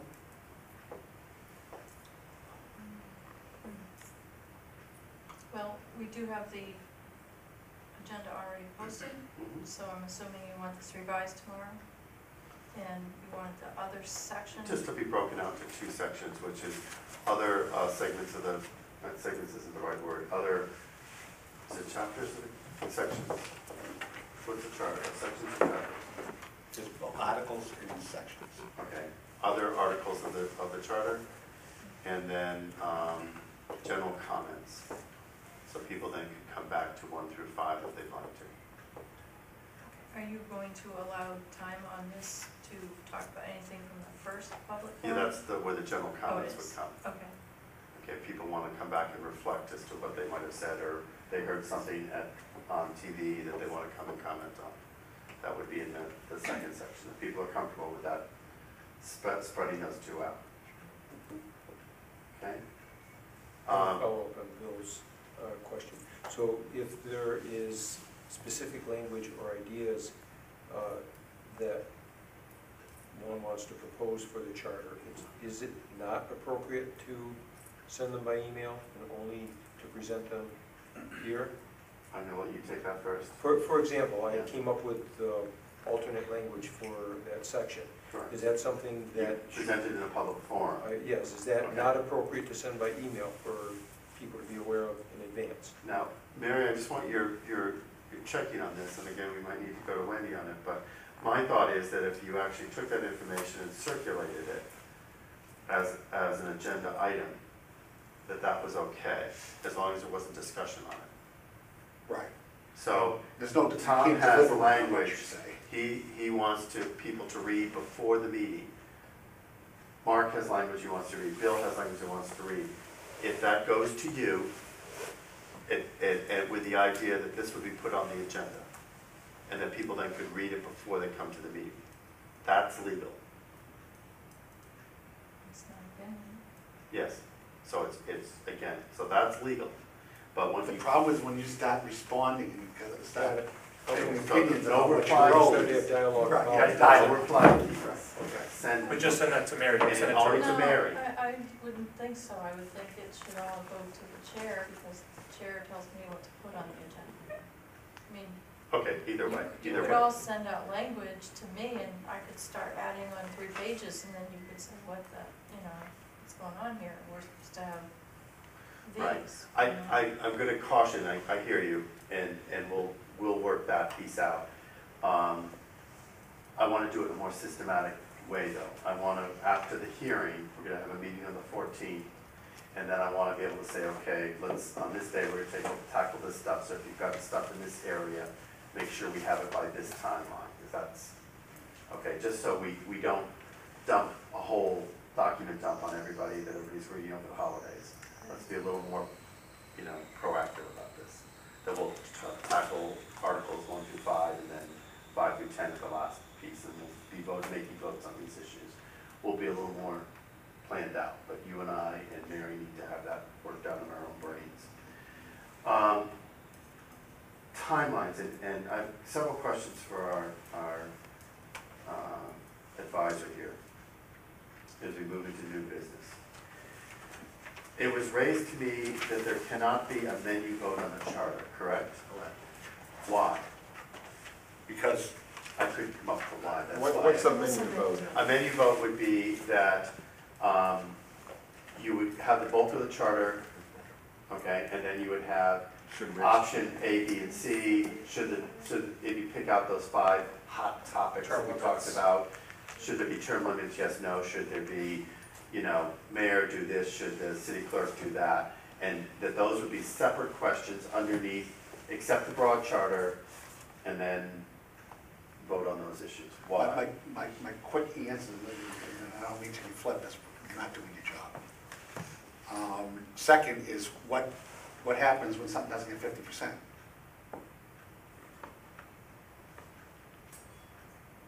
And you end up with nothing. Just be- just because of blank, blank votes. You get nothing, you end up with nothing. But that's, so you've got fifty percent of total turnout, um, including blank votes for this to pass? A charter can pass with less than fifty percent, right? No, No. nothing can. No, it Including- means that including means blanks. registered voters as opposed to those voting. Isn't that what you're asking? Well, yeah, I mean, we get, we have a lot of, you know, forty-one percent, you know, of the votes for at-large city council last time were blank. Um, yeah, and, and for the CPA, uh, candidate is even worse. Uh, I assume we're not, not everyone's gonna vote on the charter, people are gonna leave it blank. Right. Does it, so how does that affect the voting results legally? What, fifty percent of what? Of people voting or the, of the voters? Vote, votes, You know, the votes. votes. So if you're blank, you're just out of the picture. Okay, so then how can anything be under fifty percent?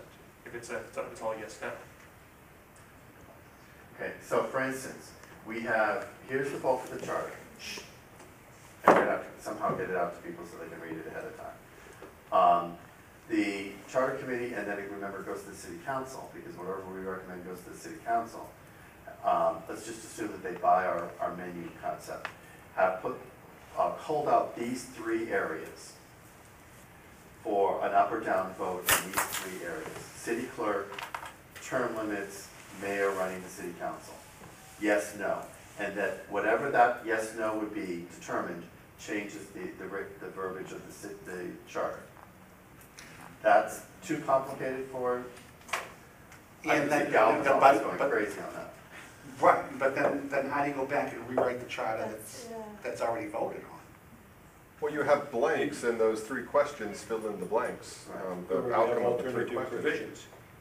Provisions. If you vote, I, I don't think you can do I'm not that. saying it's not complicated, I mean, Legally, we can't do I, I that. think the, the question is, is it legally possible to do? Isn't that what your question was? Yes. And I, I have an opinion from, from, from, from, uh, from, a- uh, from a lawyer on the Barnstable, the Barnstable Barnstable said, you can't do that. It's a little too messy.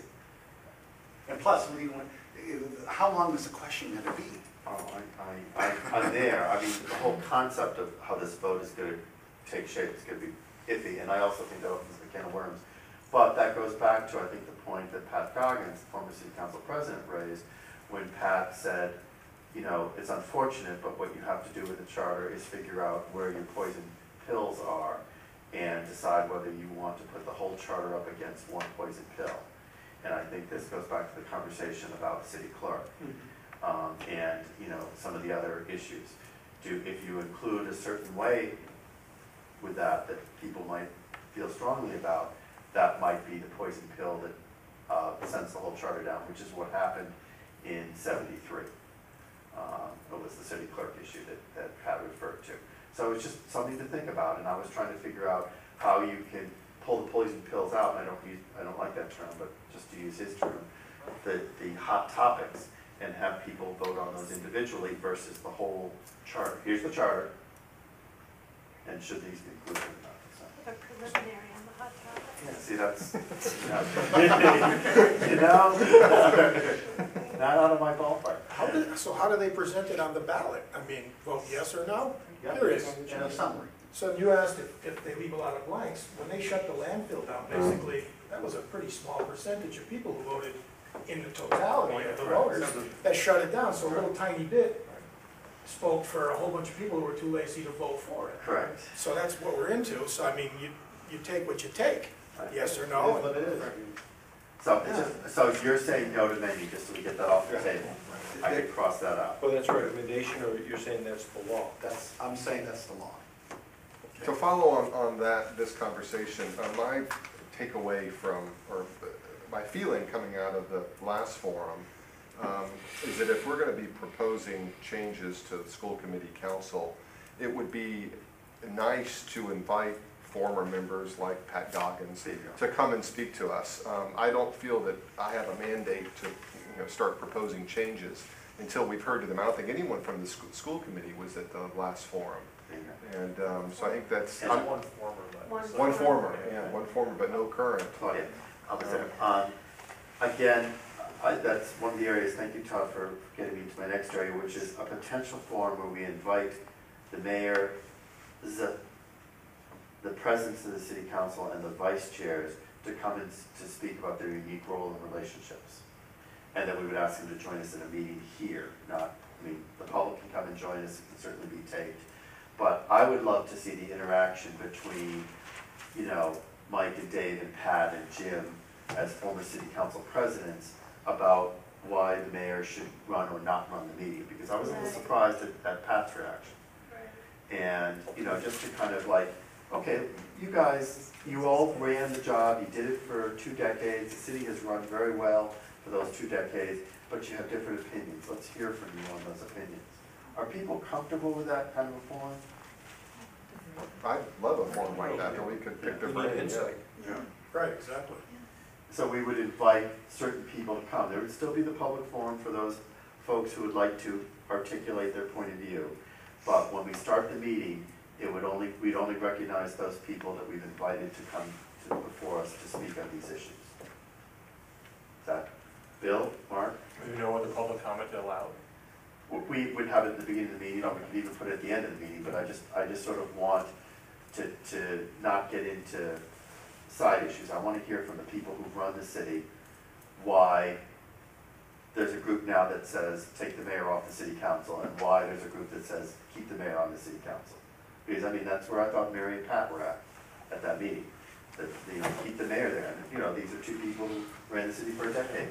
Now, that's different than the prevailing, I mean, not prevailing, but the more recent opinions of people who've been on those jobs. So it would just be interesting to have sort of a dialogue. Is that, are people at that, are they comfortable?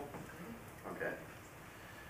And I, as you said, I would like to have some more city, school committee people talking about what's relevant about, um, the vice chair position, which is the, the elected city council person who, or excuse me, school committee person.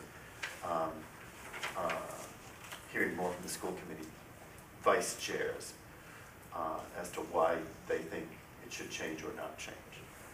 So we would look at probably the last, you know, X number of years and have those people come and share their points of view. The other person who I thought was fascinating was your former chair um, of the original committee. And is there any new information from that that we should glean, or should we be respectful of that group? We read their report, we submitted their report. Is there any reason to have those folks I have, mean, the, there was never any debate. Any suggestions about policy changes in the final report were things that the writer of that report, who was not Alan, um, just stuck in. There was never any debate. You should not take those as, as endorsements of the full committee or, or anything. They were just, they were just put in there as placeholders. that's what I thought you had told us before, I just wanted to confirm the that. value of bringing those folks in to quiz? They were not affected. They There were four or essentially- five at the, at the, I asked them to stand up at the public forum to be recognized. They were the for city reference. councilors Yeah. who were there for other reasons. Right, And me, and Right. Alan. so, any other comments or questions, Megan, no? Does Yeah. that, does, does adding that kind of a panel um, affect the number of meetings? It might, and that's where we go next. Okay. So I, I don't want to move that. And the, the two things we have left on the agenda is the rest of the meeting schedule to make sure that we all are saved the correct date, and then Bill's concept about PR for this December sixth meeting. Which one do you want to take first? Um, why don't I start for the PR first? Go for it. Um, So just so folks know, um, I, I had that little award for, uh, public discussion the other day because, you know, one person, you know, uh, felt that, uh, you know, the word hadn't really gotten out about, about our, our first forum.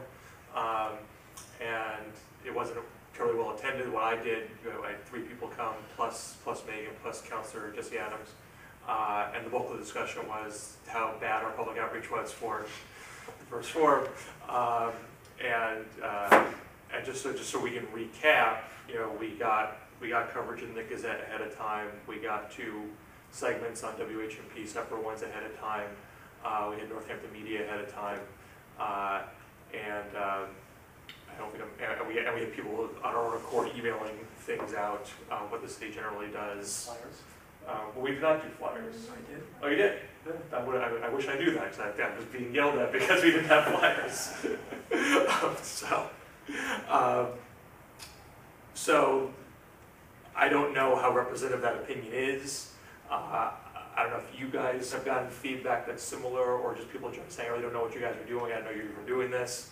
But, uh, it might behoove trying to, so on one hand, I think we should try to raise it up a notch if at all possible. On the other hand, I think it's difficult because we did a hot button issues the first time, so we have a little less to sell the second time. Uh, although we could sell, this is also just general, general open floor for everyone's uh, opinions.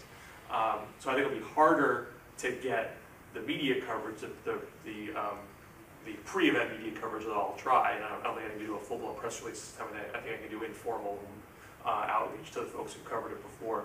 Um, uh, I thought it might be useful to do flyers, not that I think it's anything like a silver bullet to get people out, but just to say that base was covered, to get them, I don't know where you put them, but, uh, Florence? in Florence, we maybe do in Florence, do in downtown Northampton. Um, I'm happy to try to draw those up and, and have you, uh, and have all of us try to stick them in a few places. Um, the bigger idea that I had was, can we use the city's automated phone system to, re- to contact every, every person and, and, and make an announcement? And then no one could say we didn't try to contact everybody, because we would have. Oh, you mean the weather, weather, the weather phone? Yeah, It's Yeah. a good idea if we could do that. I don't know what the logistics of. Probably make a few people angry, that's all right. Mary, Bad idea can at you all. look into that, or should I have Mark ask the, the mayor about it? Sure. Bill, not Mark, sorry. Bill, can you follow up by calling, uh, Crean in the mayor's office and ask what the protocol would be, that we were just wondering if it's possible to put a tape message out? Who's, who's the proper person to ask? Crean, and who's Crean, the new person with Crean? Lynn, Crean or Lynn, It's five eight seven one two four nine. Five eight seven twelve forty-nine. Two four nine. And just ask them what is the protocol, because we again want to increase the outreach with a simple message, you you could drop ahead of time, just public forum on, about changing the city's charter. It'll come to a vote next November, we will be for Just like to apologize to the committee that I'm just a little bit um, battered tonight because today was the deadline for sixty-eight bars and restaurants and seventeen package stores to bring in all the paperwork. Just a little, you know, I'm sorry. trying to be respectful. Many of them waited until today, as I'm sure Mrs. Miranda Uh, remembers. So if you don't mind following through. I can that. follow up, um, and, and as far as language for what that call would be, is it okay if I draft it? Would you want to Yes. see it? No, I think you're ca- capable of putting together what you need to put together to get that out there. Because again, it's a simple message of getting people to come to this forum. Do I legally have to say all the topics are listed in the public notice, or can I just be more You can broadly refer to the website Okay. where the topics that have already been discussed are up there. Um, and, uh, again, I, and here are the topics we're still covering, but we are looking at the charter, a complete overhaul of the charter. This isn't, you know, I, I disagree with whoever told you that personally. They looped your, your um, segment on the radio over and over. I heard it like six times. I thought the press did very good. I did too. We didn't really get anything in the union, I don't think. Maybe that No, would Fred, help. I know Fred was absent, if you noticed, Fred's been missing for a Yeah. while. So that would be an, op- but, but I thought that the coverage was, was really good. I did too, actually. I mean, the response, I mean, I, I don't know. if You know, but like you said, it's, dr- it's like this stuff we went through tonight. You're right about, like, all of a sudden your eyes start to glaze over. It's like, but, so a lot of people aren't that interested. Having, having been on, now this is my fourth big committee for the city in twenty years. I have never not gotten that comment. Right.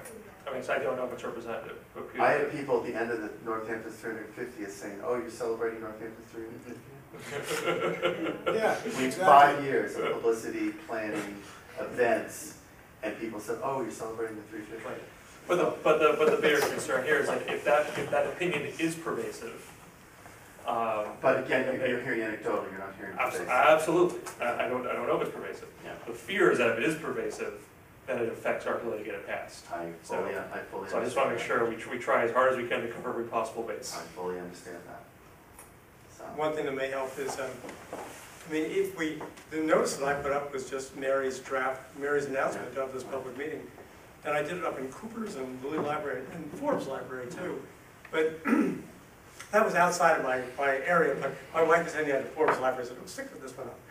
Uh, So she's a got librarian there to do it, but if you can just print that out and do it in your respective wards, Right. at any sort of public, you know, uh, key spot. and it, it did go on an email list, because I got it on the email list, so that's It went why. out on Ward Three Yeah, listserv, yeah. So it, it, it went around, so I, I disagree as well, Bill, I thought, I mean, just what else, I mean, I I mentioned all these things, I didn't get it, my friends didn't see it, no one reads the Gazette, no one listens to WHMP. Well, If it's not working, it's not working, you know. They're probably not gonna vote, so. Well, I, I had sent it to, uh, to Wanda Agnew at Jackson Street School, and she had sent it out on her email list around this, so I think it got. That's right. so. Okay. And, and for what it's worth, we appreciate the feedback, we will try to up our ante, up the, the, uh, for this particular forum, and we'll go from there. All right, now to Gail's question. We have to kind of scope out, and you get your PDAs or whatever you've got that keeps your calendars going. Um, But we have a timeline. Could our consultant talk to us about that timeline, and how firm it is, and what we have to worry about? The, the, uh, the way it stands now, this committee has to- is supposed to be done in January. That could be Yep. January first, January third, that's January. And, and why January, just so we have that as a backup? as- Because we need to give time, the legislature has to get this by May. So you have to give the city council at least, um, three months Yeah. to, to to deliberate this thing. Then you have to get it to the legislature in April, actually. You have to give the legislature a few months to get this through their process. And then, um, then the charter has to, then the, then the whole charter document May, whether it gets mailed to every household. I mean, that's not yet, the, the council make that decision on how that thing's done. It gets the clerk in order, in, in enough time for her to get it printed on the ballot. Or if it's be in the state election ballot, we have to get it to the Secretary of State to make, on their timeline, to get it printed on the ballot. And then it goes on the ballot in November. So it's really, this is tight. Okay. So, um, And I'm not really worried about this committee, I'm worried about the political process after this committee. Right. Um, In the, in the rush to get something done versus doing it right, we'll have to sort that out as time goes on. Excuse me? The uh, actual order say- states that the special act charter must go to the city council for consideration no later than January nineteenth, which is our second meeting in January. Well, So it has to be completed how many days before that? Um, we Publish for the nineteenth, the Friday before. So that would be the thirteenth, Friday the thirteenth. Oh, God. Okay, kids? Nice, uh, for the, if I'm taking a, a path you want to go down yet, say so, but, uh, relative to PR concerns and, uh, public feedback concerns, um, I take Stephen's point, uh, that we don't have to take formal votes necessarily, that we can all just come to kumbaya consensus at the end. Um, presumably, there'll be some point, uh, and uh, whether at the very end of the process or maybe some points in between, where there will be news coverage of decisions that we have made. Correct. Uh, It is not unusual for the backlash to occur after that point. Wait a second, I didn't hear about that. You're, you're gonna vote on that? You're gonna make that decision? What's going on? Um, To the extent that we are able to get the word out in advance of whatever meeting it is where we're on the verge of making some sort of decision. So there could be a news story saying, special act charge, everybody's about to make a decision about X, come to make the public comment to get your two cents in. We should think ahead about that, I would suggest. Yes. I hear you. Isn't that what the public forums are for? I mean, We had talked at one point about not only having the early forms, but then the, give the Oh, chance the, the, for the public to have a comment on a final draft before we were oh, to send it forward. Now, help me with our decision-making process. We are not making a decision per se about the charter, we are making a recommendation to the city council, council, yeah. who will then tinker the hell out of it and come up with the, what goes on the ballot. Right. What goes on the ballot. Right. So we are making a recommendation that we think these are the best changes, that we think this is the best form. They might come back and reverse three or four of the- our recommendations. And they'll have open meetings. And they will have open And meetings they as have well. a So, burden. so at a certain point, we have to own some of it. Some of the rest of it can be owned by the city council. But that, that sort of begs the question, should we be putting forth sort of an ideal charter, a best practices charter, or should we be putting forth a practical charter that's gonna pass? If the council has the ability to say, no, we don't wanna, we don't wanna deal with the um, clerk's issue, we're gonna drop that, we're gonna drop this, drop this. What, what, what mandate do we have? We have a mandate to put a recommendation forward, period. And in any form you want. I mean, we could, the, the form of, the form could be an actual document like we're doing, what we're working on now, and say this is what our ideal document would look like. Or you could just say, you know, here are the following fifty recommendations and bullet points, if you wanted to. Though we did that, probably make the timeline on the company, it? And the city council then do- write the actual language themselves and do that process? No, because I'm gonna have. And he's gonna have to come to those meetings. Either way, either way. I mean, I'm, I'm, I'm, I'm, I'm committed to this process at the end. So I have to go to the city council meetings. Right. And then I have to go to, you know, to the uh, elections division, I'll have to, you know, I gotta make sure this thing gets done.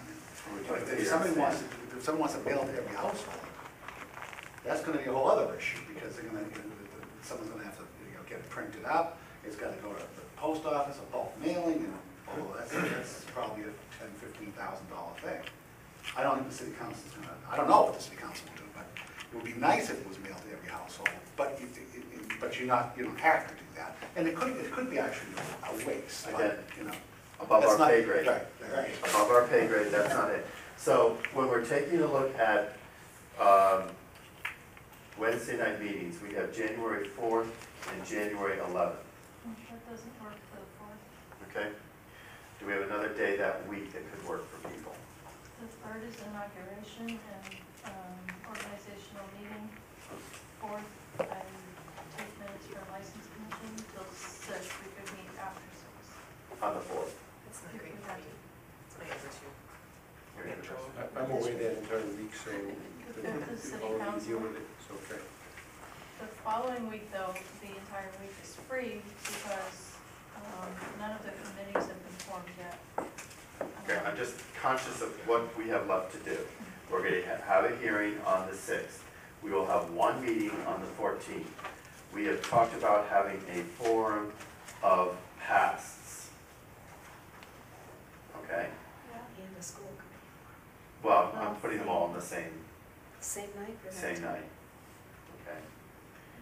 Night. Okay? Um, and then we have to take a whole series of votes. I think we have to blitz a series of meetings in So those do I. first two weeks. I don't know how else we're gonna do it. I just think we have to meet night after night after night until we finish it.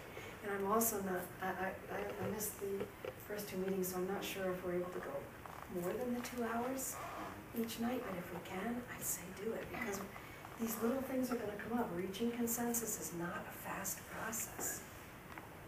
So are you, go ahead. I just, what you talked about, the passing the smell test, I think we're gonna do that a lot, to keep it moving. We have a lot of restrictions though on the states and on Mary's availability and how marathon day. But you just said the, the week of the ninth to the, the twelfth, That, Monday, Tuesday, Wednesday, Thursday. There's nothing scheduled for meetings of those dates yet because committees haven't been formed Okay.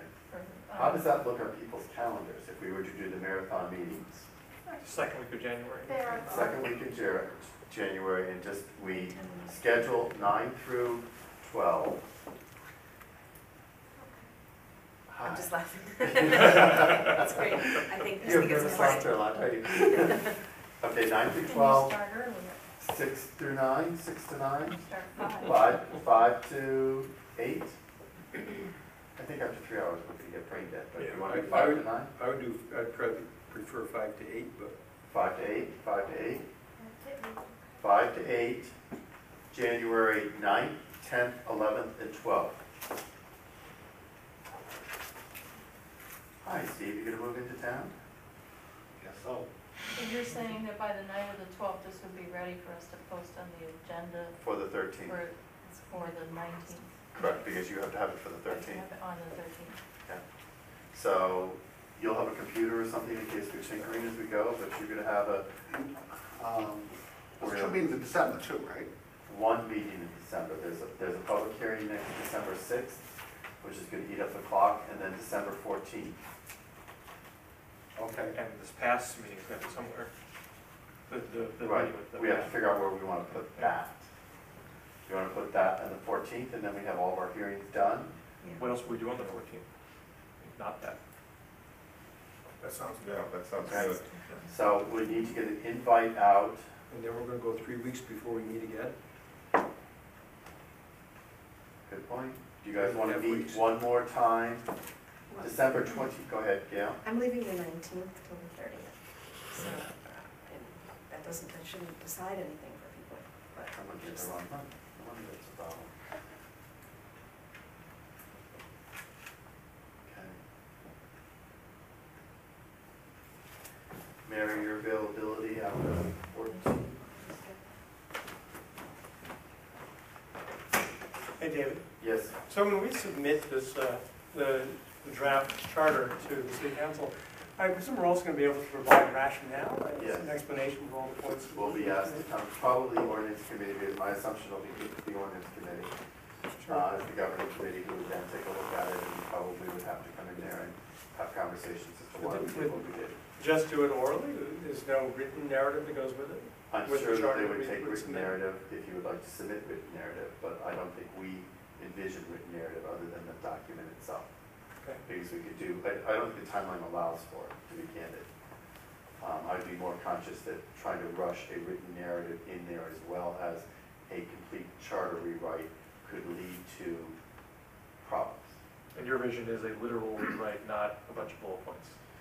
I would suggest that since we have the boilerplate to start with, it pulls things out that we need to pull out, and we'll be just adding those points, might be the better way to go. And I have, I have, I have said to, to, to people, not here, but uh, elsewhere, that I don't, I, we can have this kicked to a committee in the city council. Because uh, uh, what will happen is, you go through the whole thing with the committee, and you're gonna do the whole thing again for the, s- for the, so I, I suggest it goes to the committee of the whole. Okay, and again, So it doesn't have to be done twice. that's the internal council and the new council makeup with the new president, and, and they'll have to sort that out. That's above our pay grade. We have a timeline of December nineteenth, which I'm trying to be respectful of. Um, And they gave us this timeline, and we have been meeting fairly regularly. I don't think we've taken any real long times off here. So, since they enacted us to when we produce a document. Mark? The only reason why I was thinking that a narrative might be helpful, and I recognize, and I understand what you're talking about the time constraint, is that if the city council is gonna have the opportunity to tinker with this, that, you know, we really should be able to make our case. That, No, this is why we have made, we had these deliberations, this is why we feel that the course we took is the appropriate one for the city. And not to be subject, I mean, politics may ultimately prevail here, but if there's a way that we could get this, as, you know, we could stipulate our reasons you know, in something that would go along with the document, and that would be part of a public record as well. But that would give a little more strength, a little more heft, and make it a little more difficult for the city council just to brush it aside. I agree. Timeline. Okay, I, I, I- in, in the best po- po- possible world, it would be nice to put a narrative with that, that we'd be able to, to defend our decisions. I think the best we can hope for is to speak at their forums as to why we did what we did. Why did we do what we did? We're going to have to say that verbally. I think trying to put that in writing and to get a committee of uh, nine people uh, vetting every word and every sentence and every whatever, I think is going to be problematic in the short time period we have. Um, The committee, or as a whole, hopefully, um, the city council, when they're meeting to talk about this, they will publish what sections they're gonna be talking about ahead of time. And before then, we could put together something in writing, but just maybe not by January nineteenth, but we could do it, Correct. We More time. prepare like we're preparing for the forums that we're doing. I agree with you. because I agree that something in writing is. Is that, okay, I mean, do we dissolve on the nineteenth? I think that, um, it's probably, it's probably not, uh, is the order, does the order probably? The order I goes think to the the order, 19th. I wrote the order that said to dissolve, but I don't know if that piece got in. Because it sounded too, I think, you know, it sounded kind of, um, uh, uh, too, um, strict, but I, I think that's have it why right there. David thought he took it out, because it's, he didn't like it. It wasn't polite, you know? But when you start, when you, when you, when you Uh, form a upon committee, submission you should of give the it an draft. end date. Upon submission of the draft special act charter to the city council, the special act charter drafting committee shall be dissolved. There you So we have so to I don't send think it we to have- So city we can- council by right. January nineteenth. Could, um, could the narrative take the form of, if not a press release, I think, um, uh, the points that Mark and Meg make are really important if we're gonna try to frame and lock the city council, you know, and if we're, if we, we make any changes, it'll put a little pressure on them, and, um, a narrative, whatever form it takes, would help the press sort of frame the issue for the, for the broader public. Is that? I, go ahead, yeah. This is just a suggestion, and I don't know if it's workable. What would happen if on all the big issues, the ones that we want to have our reasons for in front of the council, that we divide up to write, you know, a one-page narrative on each of those issues and present it um, at one of our marathon meetings? And if there's a rapid agreement that what we have in front of us is good enough to present as our narrative, we use it, and if there's not a rapid agreement, it has to go without narrative. In other words, just a take a chance that we might be able to do it, but divide up the work, so it's not. Again, I'm not opposed, I'm just trying to figure out what can be, you guys are gonna be all here for four nights in a row for fifteen hours, 20, 12 hours, 12, 15 hours. When else you could have time to write? Just, just to, to kind of play devil's advocate here, when are you gonna write that? And have it ready for that Friday? Well, there'll be a week in between the Well, marathon meeting. On day one, we do cert, we do a set of topics. On day one, somebody goes off to write that for, to present it on day two, we can say yes. I, I, I- you know, I don't, I don't know.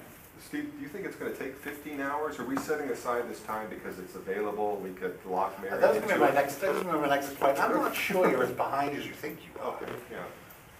I think you're being overly cautious here. I mean, I, you know, I've been sitting here and I've observed the, the group, and I don't see a lot of conflict, uh, uh, that, on, on at least some issues that we've discussed. Now, granted, we haven't made any, any- we haven't made any concrete decisions, but I didn't sense that there was gonna be a lot of, you know, disagreement. Um, so this may go faster than you think. And I also take Megan's point that we have to have the charter ready to be submitted. We don't necessarily have to have our specific points ready. We have another whole week to have the points ready. You might wanna just do a couple You of, could technically hand me all of those points, like the day of the nineteenth, and I could attach them to what Right. the counselors have already. You know, So- like they could get your document on the thirteenth with their packet, but they could get the explanations as late as the nineteenth. Right, so that's a good point that Megan It is. made. So I, I, I surrender that there seems to be a will to have more of a narrative there. I just want to make sure, and I appreciate that Gail will be suggesting that everybody takes a piece of it. But just, David, in answer to your question about the week of December nineteenth, yes, um, I'm available the nineteenth. The twentieth, I think we could get a room after six P M. And twenty-first and twenty-second, but that is, um, that Friday, City Hall's closed and people are going obviously away for holidays and whatnot, but there are those days too. What is your availability on the seventeenth of January? Myself, Yes, so, It's a Saturday? January, January. Oh, Tuesday. sorry. or Wednesday, seventeenth or the eighteenth. those are open right now. Is, is the idea that we're gonna wait till that uh, week in January to make all the decisions? Do all the decision-making during that marathon week, start on Monday and, Run through finish, it. we so why would we need to have a meeting on the seventeenth, eighteenth of December? Is there an Okay, agenda let me, item? let me get back to that. The concept, going back to Megan's point about that we all then could meet and go over the narratives as Gail suggested to, to veto that, then that would be the seventeenth or the eighteenth, that we would have to have that meeting. You would be writing on the, the thirteenth, fourteenth, fifteenth weekend, sixteenth weekend, the seventeenth and eighteenth, we'd have one of those days where we'd pick up and just say, I agree with these bullet points of this narrative. So uh, people, I just wanna start saving dates so we have. You're talking about January now, I'm sorry. I January. thought you were talking And about I'll- December. So I wanna hold off on that, January. It's still, the narrative is really only meant to say, this is why we came to the decision of the charter. Right, It's not right. something where there would be, at that point, this opposition to what we write in the narrative, because it will already, it will just be chronicling what, you know, the reasons why we came to the decision we did. It shouldn't be something, the controversy should be in the earlier decision about what should be in the draft charter. I I think, think yeah, people can It's come to the same Yeah. conclusion different ways. So, But also, once you put on paper that can be public, could not, it's not, I mean, you have two audiences there. One is city council, we want you to stick to what we do, but the other is the public. Do you agree with the rationale? And I think the narrative is, is, is far more complicated than, than just seventeenth or eighteenth, pick a day, folks. Eighteenth is Wednesdays, we've been having our meetings on the Wed- Wednesdays. That would be the day before. That makes me a little nervous, that's why I was put the seventeenth out there. Let's do this, I, I mean, I prefer 17th? seventeen. Okay, you're locked into January seventeenth will be also a meeting date in this room at six o'clock. Mary, you'll check that for us? Yes. I love that glazed over look. No, no, I was thinking we just, um, we talked about nine, ten, eleven, twelve at five to eight. You- But do you want a six? Okay, do you want to do five to eight again? Yeah. Five to eight, the seventeenth. just to give everybody comfort level, we probably won't meet these. I know, I know, but I just, I want to lock them in, so, one, they meet the public me- meeting notice piece. We can cancel meetings, that's not a problem, but also, this is a very complicated group with, with meetings.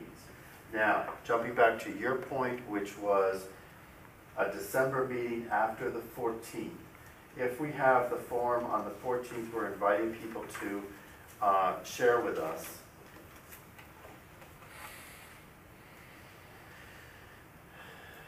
Mary, what's your availability on the thirteenth? That's open. I'm out of town that day. Okay. Fourteenth? Okay.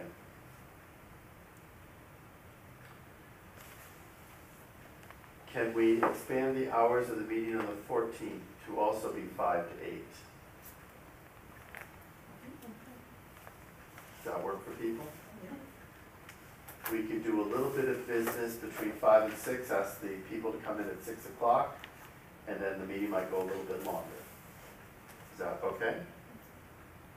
Six o'clock, we would ask the, I- Dave Santi's not in, in this part of the world at the moment, he's over in California, so I don't think he'd be coming, but we'd send out a formal invitation to past city council presidents, past vice chairs of the school committee, and past mayors to join us at a forum for discussion on this topic. Does that work for everybody? I'm not inviting rank and file school committee or rank and file city council, just the chairs to understand the leadership, um, issues. While you're on that topic, the sixth is the next meeting and that's your forum. Do you, what do you want on the fourteenth for the agenda? That's what we're, that's this, Yeah. but we'll, Gail? I was just gonna ask if we could invite people for five and have our meeting the last hour, because it might be possible after we hear from everybody on that panel, to do some kind of a straw vote and really organize ourselves around what we do agree on, what we don't agree on, we can get a jump on some of this right after Stuff. we listen to them. Okay, Is that, I don't, so have them come at five o'clock, if, yeah, makes sense to everybody else. okay, I'm, I'm com- comfortable with that too, if people are there. All right, I'll draft a letter that I'll work with Mary about getting it out to those, it's about ten or twelve people by my quick calculations, uh, that would need to be invited. Have them come for five P M on December fourteenth.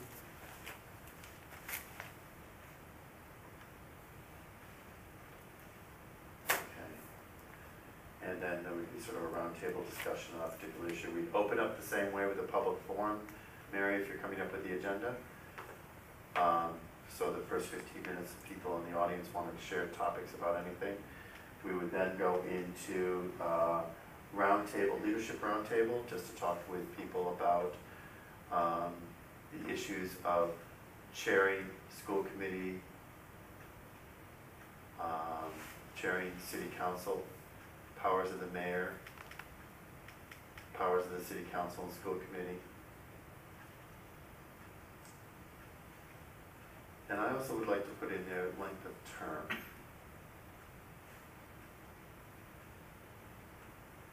that comfortable with that piece of the agenda?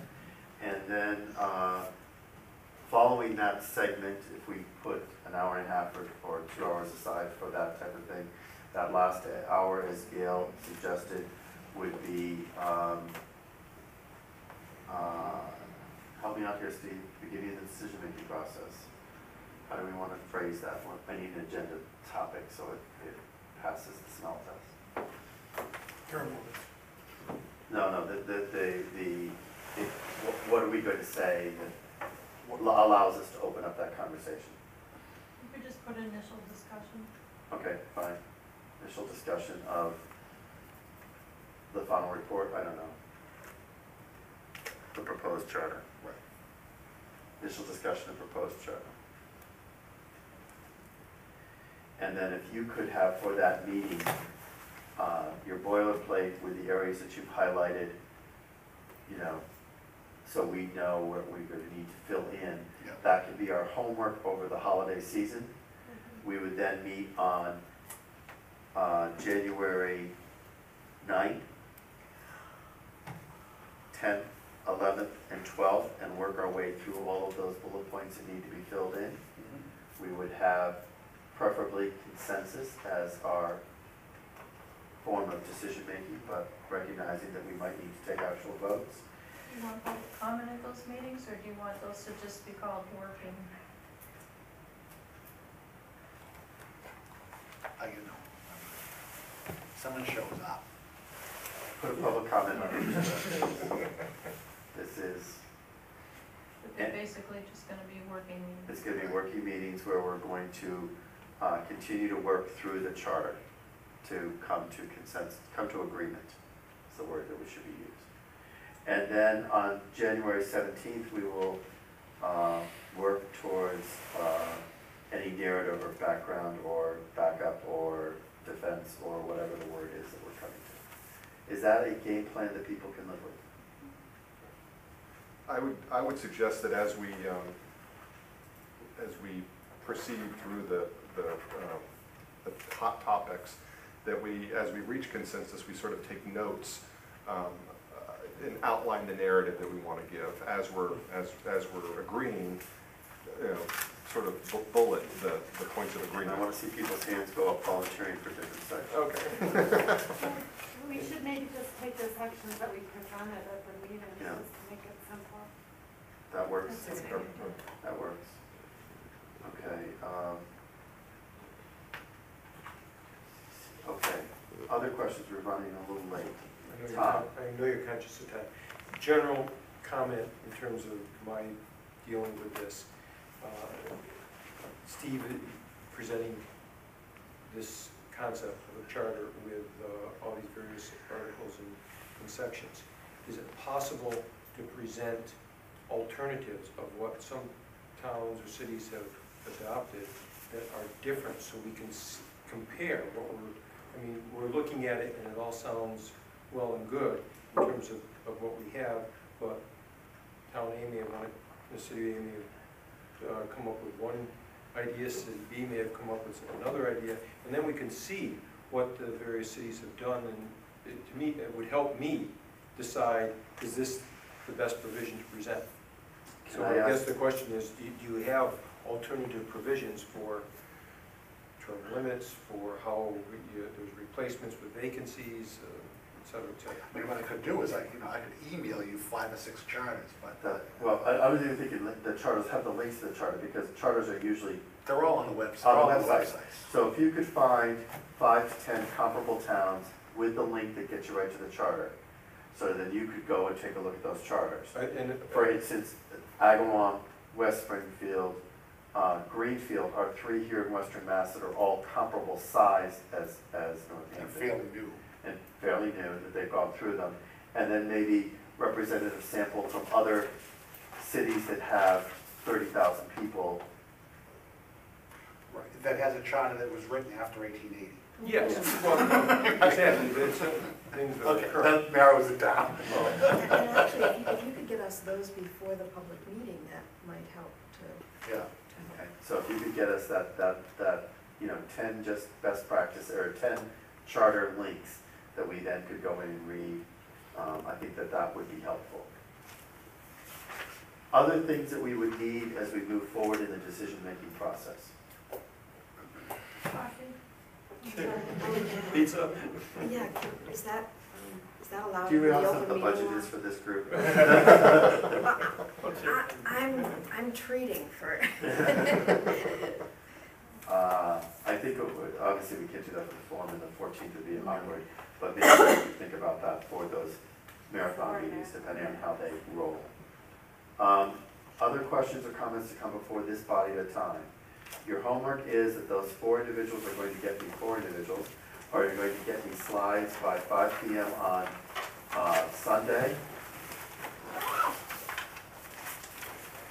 Our forum will be December sixth at six P M in City Council chambers. It will be televised. There will be a brief, but like, here's the people introduction. I'm not going through the nineteen pages that I posted on the website as we did last time. Um, Gail, I would like you to repeat your comments because it could be a different group of people. And then we move right into the four people presenting. Um, Those two, I prefer to kind of keep within that half-hour range together. All right, so you have to figure that out. It's probably fifteen minutes each. But again, I don't think either of them, that one in particular, it's gonna be a hot topic, Rich. But we'll start with that, put it up there, see what people say. Move into Tom's, move into Mark's. You have a half hour. Then move into Gail and, um, I'll try to keep you to a half hour, even though yours might go a little longer. We will then have an extra hour of time divided into two sections, which will be any other parts of the charter that people want to talk about that were not addressed in the first eight questions. And then anything else that people want to bring up in regarding to the charter, the process, even rehashing things that came the day before. Comfortable with that? is a three-hour meeting, we'll be finished then uh, by nine o'clock. Uh, We will then meet on the fourteenth. We will have an invite out to those people, hopefully tomorrow or the next day, that will ask them to come to be part of a roundtable discussion about the powers of the mayor, city council, school committee, and term limits. Um, We will then also have a business meeting afterwards where we will talk about moving forward on our decision-making process in the beginning of the, the charter, including some of the homework. We will then meet on the 9th, tenth, eleventh, and twelfth of January between five and eight, hopefully in this room. And we will do a marathon until we finish, followed by January seventeenth, where we'll take a look at narratives and or backup information that we want to provide. Everybody's on the same page, motion to adjourn? Mary? Mary? Can I just ask, are, are you or Mr. McGoldrick coming to the, planning to come to the city council on the nineteenth? I would need to know that to put you on the agenda. Um, Steve will be there, and I will, and our whole committee will be there. Yes, we will all be there. You should probably put, you should probably put representatives of this committee and just Well, leave what they open would- like that. What, what the uh, mayor and council president would normally want me to put is, um, we have a section called presentations, Yes. where I could put presentation by the Charter- special special charter charter drafting committee. They'll have a show, show. chair you- and Yeah, Mr. Right, McGoldrick. but because whoever's there, I'm gonna want you to stand up and introduce yourselves, so, and your home phone number, so people can start calling. Um, uh, Seven fifteen is when it starts, but we won't be on the agenda until some point, and we'll get you that timeline. But Mary, if we could be early, so I'm not there until I know, but we're special. It says that in our Yes, group. that's Special act. Special. No, actually, once you present it, you're dissolved, so. Right. We're still special. Evaporate until that point. Then That's you're okay. special in that. As soon as we can re- dis- dissolve, that works for me too. Oh man, it's melting. Quick, So, quick uh, question. Uh, is it safe to tell press about the fourteenth? Yes, We're gonna have that meeting, high water, if so-and-so can't come, too bad, we're having that meeting. correct. We're, we're inviting some of the uh, past leadership of, uh, past and current leadership of Northampton to uh, offer their opinions on these issues. I think that's totally legitimate, but, you know, we've asked the public to come in and weigh in on their opinions, and now I'd like to hear from the people who ran the city during the last twenty years about what they think needs to be changed within the charter. Okay, other issues? Mary, thanks for hanging in, you've had a hell of a day.